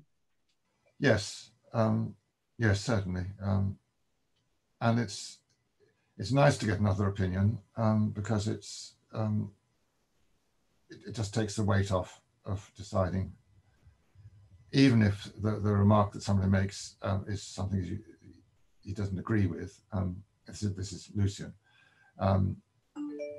he very happily um, accepts that that person's opinion is wrong and that encourages him to bang on in a different direction. So it's it's the outside voice and and um, a pair of fresh pair of specs basically.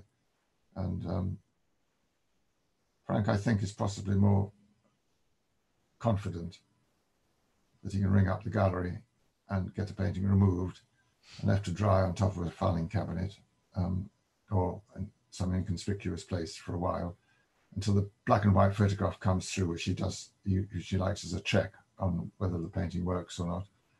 Um, and and then it's out into the world and he doesn't see it again. Um, it's, a, it's a very strange process. Um, and, and Frank produced it. It's slightly more productive than Lucian in terms of quantities of paintings.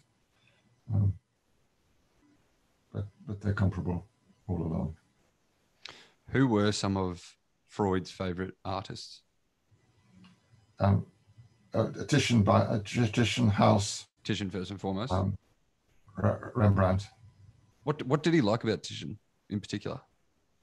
He liked his old age um, greatly and his extreme braveness in um, particularly Diana and Actaeon, I think it was perhaps of all the paintings.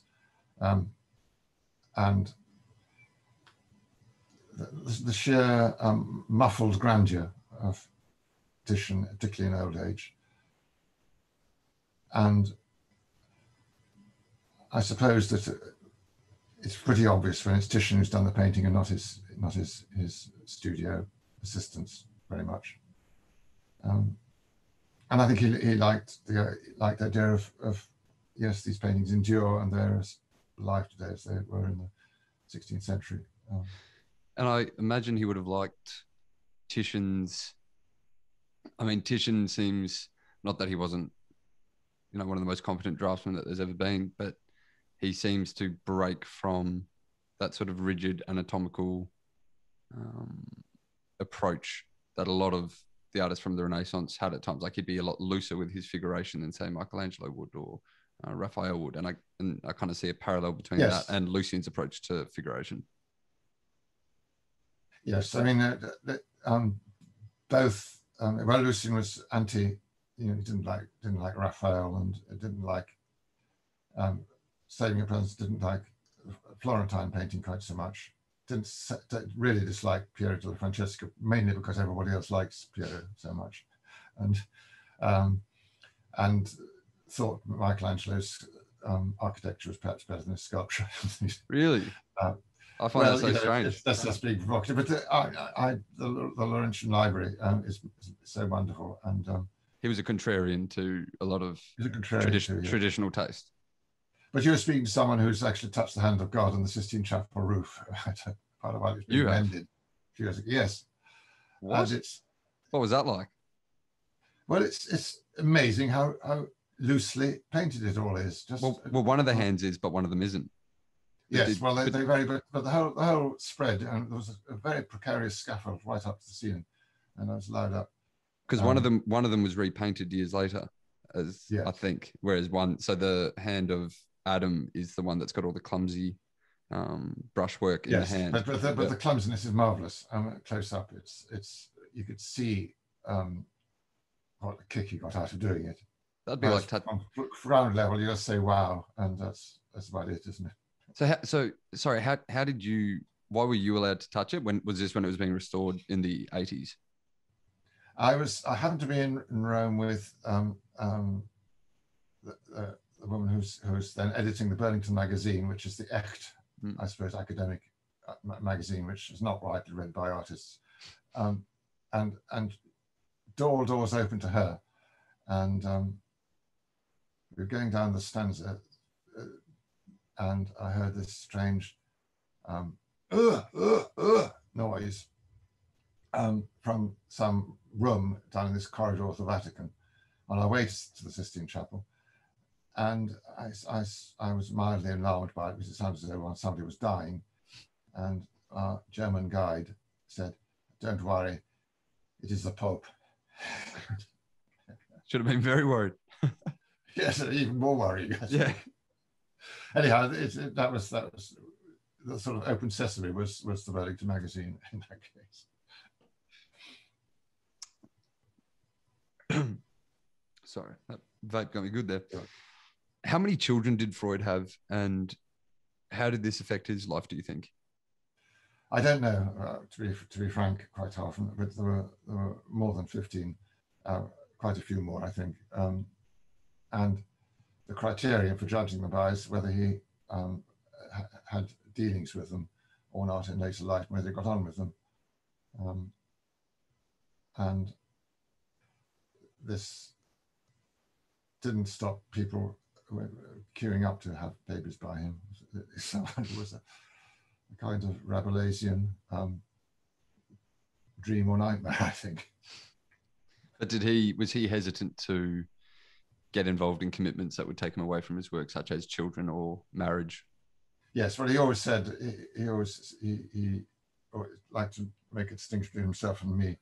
Um, he once sat me on what he called a baby's table as a dinner, um, surrounded by people who, and, and also Francis Wyndham, who he thought was sympathetic to women and to women with children. he, was an element of farce. I mean, you know, that, um, he was extremely generous financially and, and in, in, in kindly ways.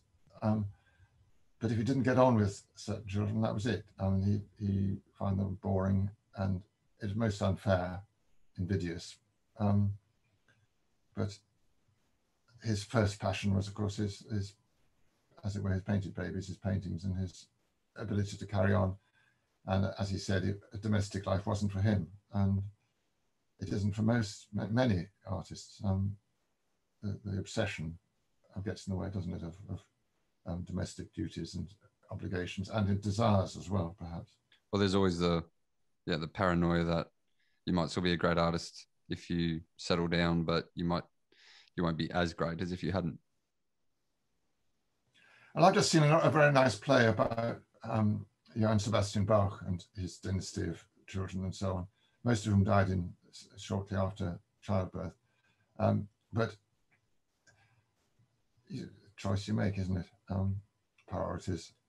Hmm. Um, Could you also talk a bit about the gambling habits of Freud and Bacon and what that suggested about them as people and about their art? And could you also give a few uh, examples of the debts that uh, Freud racked up just for the sake of the listeners as well? Well, he rang up one day and said he'd, he'd done, I think, I, I don't know the terms, but three days at the Cheltenham Festival, um, he'd won absolutely, literally millions, four, four or five million. Um, uh, this could have been an exaggeration, but the next, the following day, he rang up and said he'd lost it all. Uh, so it came and went. so, so, so he gambled four to five million dollars within a day that he'd just won. He would do, but and and he went on. He he sort of wanted it was like clearing his throat or um, cleaning cleaning the washing up sink, um, swish it out. Um, he wanted to prove that he could take it, and that loss left him with a wonderful uh, empty feeling. Um, but he also admitted that as soon as he got making serious money, and he had by, basically by the time he had his New York dealer, um, the, the, attraction of putting bets on um, diminished enormously. Um, Just because he was making so much money. It, well, it was it, it, became a bit meaningless. Um, he, it, it, had to hurt, um, and the thrill of the chase, the thrill of the moment was very much like I don't know Sherlock Holmes taking his you know dose of opium to, to get him through a, a dull day when uh, nothing much had happened in the painting. Mm. Well, what did Freud think of the prices his work was going for at the latter part of his career, and did it seem ludicrous to him that they were going for tens of millions? Um, quiet satisfaction, I think, is the answer. Uh, of course, most of them got them made the real money uh, on resale in which case he, you know he didn't benefit directly. Um, and I, I, the one thing he didn't like was was people um, flogging things off that didn't deserve to exist that he should have destroyed. He felt which happened every, every so often, um, and that made him absolutely furious.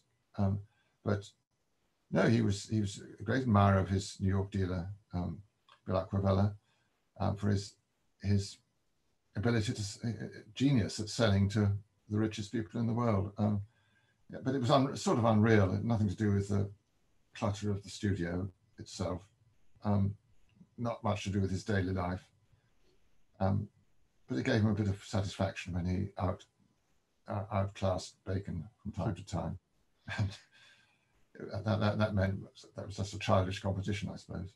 And and did he like Acquavella because Acquavella was sort of the, the first dealer to really indulge and love his more they're not pornographic pictures, but they're more explicit images. Well, actually, um, James Kirkman, his previous dealer, was extremely good for him, but um, was rather nervous of him. Acquavella had the supreme advantage of having uh, uh bought and sold the entire Pierre Matisse gallery um, archives, uh, or backlog of pictures, um, was richer than most of his clients, um, and a very genial um, sort of Italian descent, paterfamilias, um, Lucian liked the setup. He liked the distance, really. Um, it meant that things weren't quite so quite so urgent. Um, and on the whole, um, I think there was a quiet satisfaction to be gained. But he tried to make the money mean little or nothing to him, and um, and of course, when he died, he, he, there was nothing in the way of paintings to speak of in the artist's estate. Um, it was all sold, which is, for most uh, uh, painters' point of view, all that stuff you leave behind when you die, it had been taken care of already. Um, and I think that was more important to him than the actual money fetched. Do you think Freud's technical ability got better and better and better the later he got into his career? I mean, um, that might sound like an obvious thing to happen, but as I'm sure you know, uh, as an artist, my experience with a lot of artists is that when once they reach a skill level that is, you know, reaps financial success or um, acclaim, their skill generally sort of plateaus a bit. But I mean, I'm thinking of like the uh, benefit supervisor nude and Freud's paintings seem to just constantly get more and more uh, compositionally complex, and uh, each nude seems better than the last. Yes, um, it, until I till I think the very end. I think um, last three or four years he was not not very well, and his memory was going, and and things got a bit hazy, but still pretty remarkable for you know in someone in his late eighties. Um, I think actually um, one can pick out from every period, even from his childhood drawings, um, things that really still hit the mark or excite you or astonish you or disgust you possibly even. Uh, but on the whole, he he didn't he, he avoided that terrible the midlife crisis in painters um, and worst of all the skidding around on the heels of success painter. Um, I mean, for example, your own Sidney Nolan, I think um, I, I, like his work less and less as it progresses through his life. Um, mm.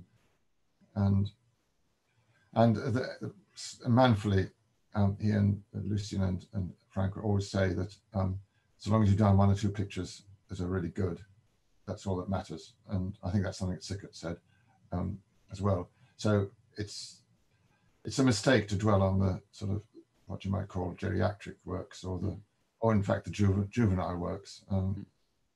or the boring middle-aged works i mean you can knock every stage in a, a, life but the great thing is to keep the flame going and um, um, and the ability to take people by surprise at how how extraordinary um, some accomplishments of them all of them are and do you, do you think they perhaps the reason why they look like they're getting better and better is because I haven't had that like Bacon, Auerbach, which I don't know about Auerbach as much, but Bacon and Freud didn't have that academic um, background as much. I mean, I know um, Freud. No, none of them, none of them are academic at all. Um, mm, but they, the so-called School of London, um, the only one near being academic is is Kitaj himself, who was American and mm. didn't really fit in, but he was the person who invented, more or less invented the term. But because well, um, there's there's that quote from um, Peter Watson at the end of the chap one of your chapters where uh, he says Freud was one of those people who must learn everything by trial, error, and your own experience, and uh, that could be said of Auerbach and Bacon as well. But yes, because because they're not cementing their style in an academic background, there's always constant room for improvement. It's just applying their own relationship to something or their own experience with something more and more and more. I think it's a great parlor game to play. Um, that um, who name the artist who got better and grander in old age. I think Titian. Titian, yeah, probably does it, and Rembrandt certainly mm. um, stops being a clever clogs and becomes profound. And I think Bacon was hit a plateau, had about five years of, of doing nothing wrong, brilliant, and then faded away.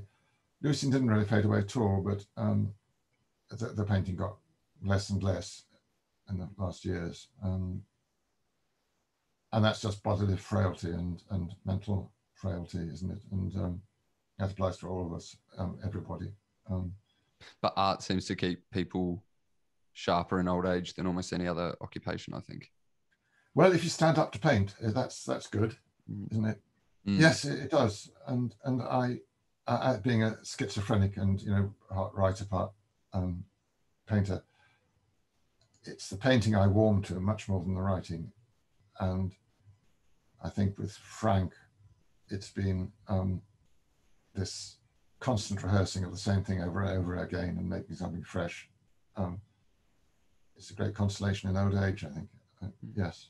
Um, the use of so many quotes by Lucian in your book was interesting, I thought, because in one sense, the biography is going to be slightly less accurate because of this saturation of quotes, because mm. all the stories are subject to his biases and his account of certain events. But in another sense, it's far more personal to Freud. You've almost prioritized his world, his view of the world, rather than the world's view of him, if that makes sense. Yes, I thought it was. I, I, as the book grew, I thought it was necessary to, um, um, as I'd got this unique, vast number of um, conversations, um, and it was good to get him into it. Um, his very peculiar way of speaking, his um, his negative remarks as well as his praise. Um, and then I thought, and, and, then I thought, set it against the accounts from other people, um, and not not so much my colleagues, as it were, but but people who knew him. And I didn't want it to be an aesthetic book, or let alone an academic book. I wanted to be um, bursting with um, the the sillinesses and also the um, ambitions and the and the dislikes and the likes. Um, possibly rather indulgent, but there's a life of Nollekens, the uh, early 19th century um, portrait sculptor um, by Antiquity Smith, which is full of this man's ridiculous behavior and curious remarks. And of course, there's Boswell's Johnson, which preserves Rock Johnson.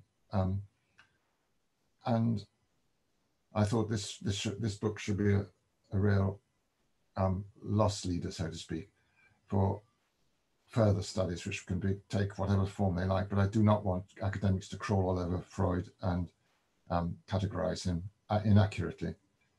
Mm. And and and he seems very honest with himself, really, um, and and funny. I think. I hope it comes across as funny sometimes. It, it comes across as funny. I think if you've heard Freud interviewed before, I mean, I certainly found all the quotes quite funny thinking of them in his yeah. almost like sing song kind of cadence. But it's um yeah, I think I think yeah, I think it's really helps to know what the man sounds like, and then you read all those quotes. It makes it even more gripping, I think. Well, it also and and it was meant to be a corrective, and and Bloomsbury, the publishers, I I, I went with them after uh, I was a bit of a bidding war for the for this book, um, because Alexandra Pringle um, left me alone for four years one lunch, I think there was, and then she read she read it on a beach, most of it, and she, without a murmur, said, "Oh, it's okay, two volumes if you like." And two volumes is not good publishing, but well, it's just it's good publishing, I think. Um, but good, good publishing um, in what sense? Good publishing in, the, in that um, it's it's not probably the most profitable thing to do. There's, there's other ways of marketing, um, and I wanted I wanted it to be it to be a book that like a plum pudding one sort of dips into and comes out of. Um, not something one reads as, as a single session. That's, that would be a nightmare.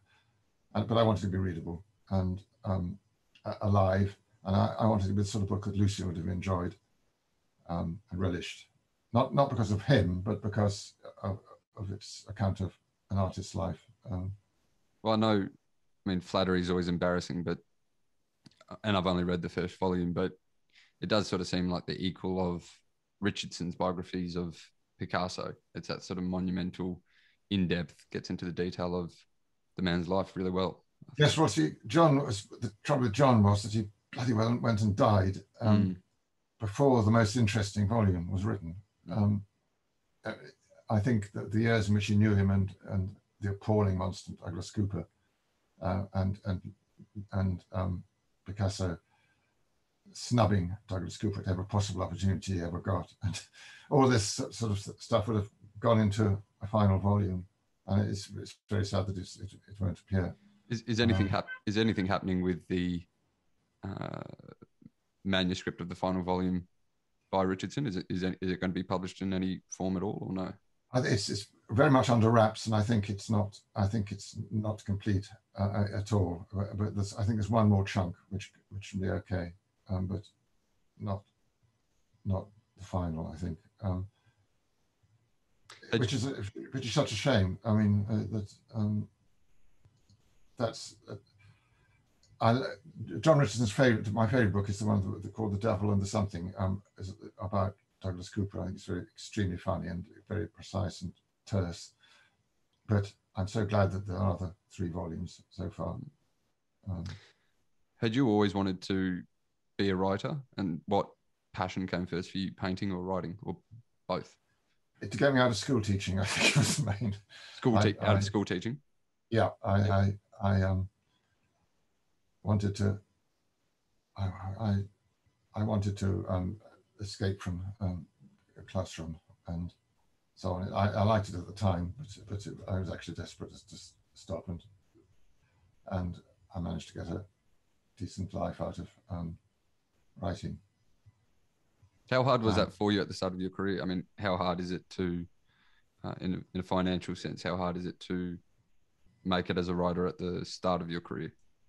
Well, it's nepotism, really, in a, in a way. I, I um, had, first of all, I, I was hired to write write book reviews when I left Oxford um, for for no payment, but just to get the book free for the Northern Echo, which happened to be edited by a man called Harry Evans, who became the editor of the Sunday Times, and legendary, important, great editor. That helped.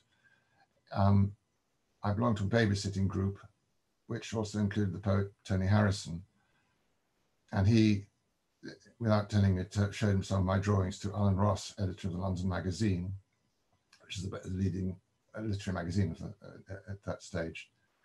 And, and I went down to London to discuss these drawings. And um, the poet Hugo Williams, who worked for the London Magazine, asked me whether I was interested in doing any writing. Had I done any writing? I lied and said I had written. So I started writing with London Magazine, which is the top end of the literary market, attracted editors. And so before I knew who I was, I was writing, I was the art critic on Vogue, Financial Times, and the Sunday Times. And then I dumped all of them and went into the Observer um, and was there for 25 years. So th- things developed from accident, from knowing somebody, Harry Evans, um, and um, knowing Ter- belonging to that babysitting group, which meant that Tony um, very kindly set me going. So it's almost accidental. And um, Do they feed off Um, each other, your painting and your they, they writing? fed off each other, and, and, and it has to be said there was more of a living for art critics in those days, this is the 70s, 80s, um, than there is now. I mean, Why is there why is there less of a living for art critics today? as newspaper readerships have disappeared, haven't they, more or less? And it's online. Um, my friend Sebastian Smee has done very well from um, writing Australia, then in London. He was in uh, the he he was in the documentary A Painted Life, wasn't he? Yes, he was, and Yeah. uh, and and um, again, he became friendly with Lucian because Lucian admired something he'd written. Um, Where's he from in Australia?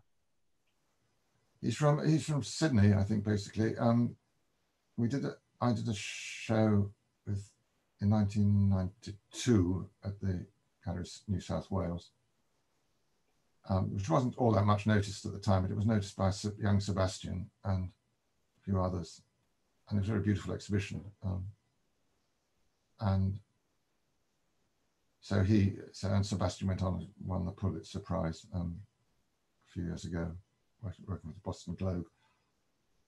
But then those sort of newspaper jobs have, have virtually disappeared. You, you may have noticed, um, Hmm. certainly in England. Um, so I don't think there's a living to be made as, I- as it was in. But then again, in my time, there's probably only about half a dozen people making a living out of being art critics. Mm. Oh, Robert Hughes, of course, but What do you think of Robert Hughes? Oh, he's great. I thought idiotic in his, in his likes and dislikes. I thought, Mm. but then why not? And um, Yeah, I think it's healthy to have that kind of attitude in art, and I don't think there's enough of it. That sort of um, Yes, he crap. breezed through life with it, and he wore literally wore a cloak at times, and was loved, Mm. loved showing off, and and I like that. And, uh, Uh, and he's very good, and he's very sup- supportive and um, genial. Mm. And- Mm, and and I've always loved his kind of cut the crap approach to art, and he's Yes. you know, his belief that there is good and bad art, which is uh, which is a, a- a reasonable belief, isn't it? but a but a rare belief these days, I think. Yes. Right. Well, I think we can uh, wrap this conversation up. And um, thanks so much for coming on, William. As I said, uh, Pleasure, Julius. It's occupied my morning quite happily. no, great. No, but all your um, you know, the artists you write about and the artists you're friends with are all um, heroes of mine, and I absolutely loved your book. So this has been one of the more exciting podcasts I've got to do, got to do. So thanks a lot. Thank you. Thanks.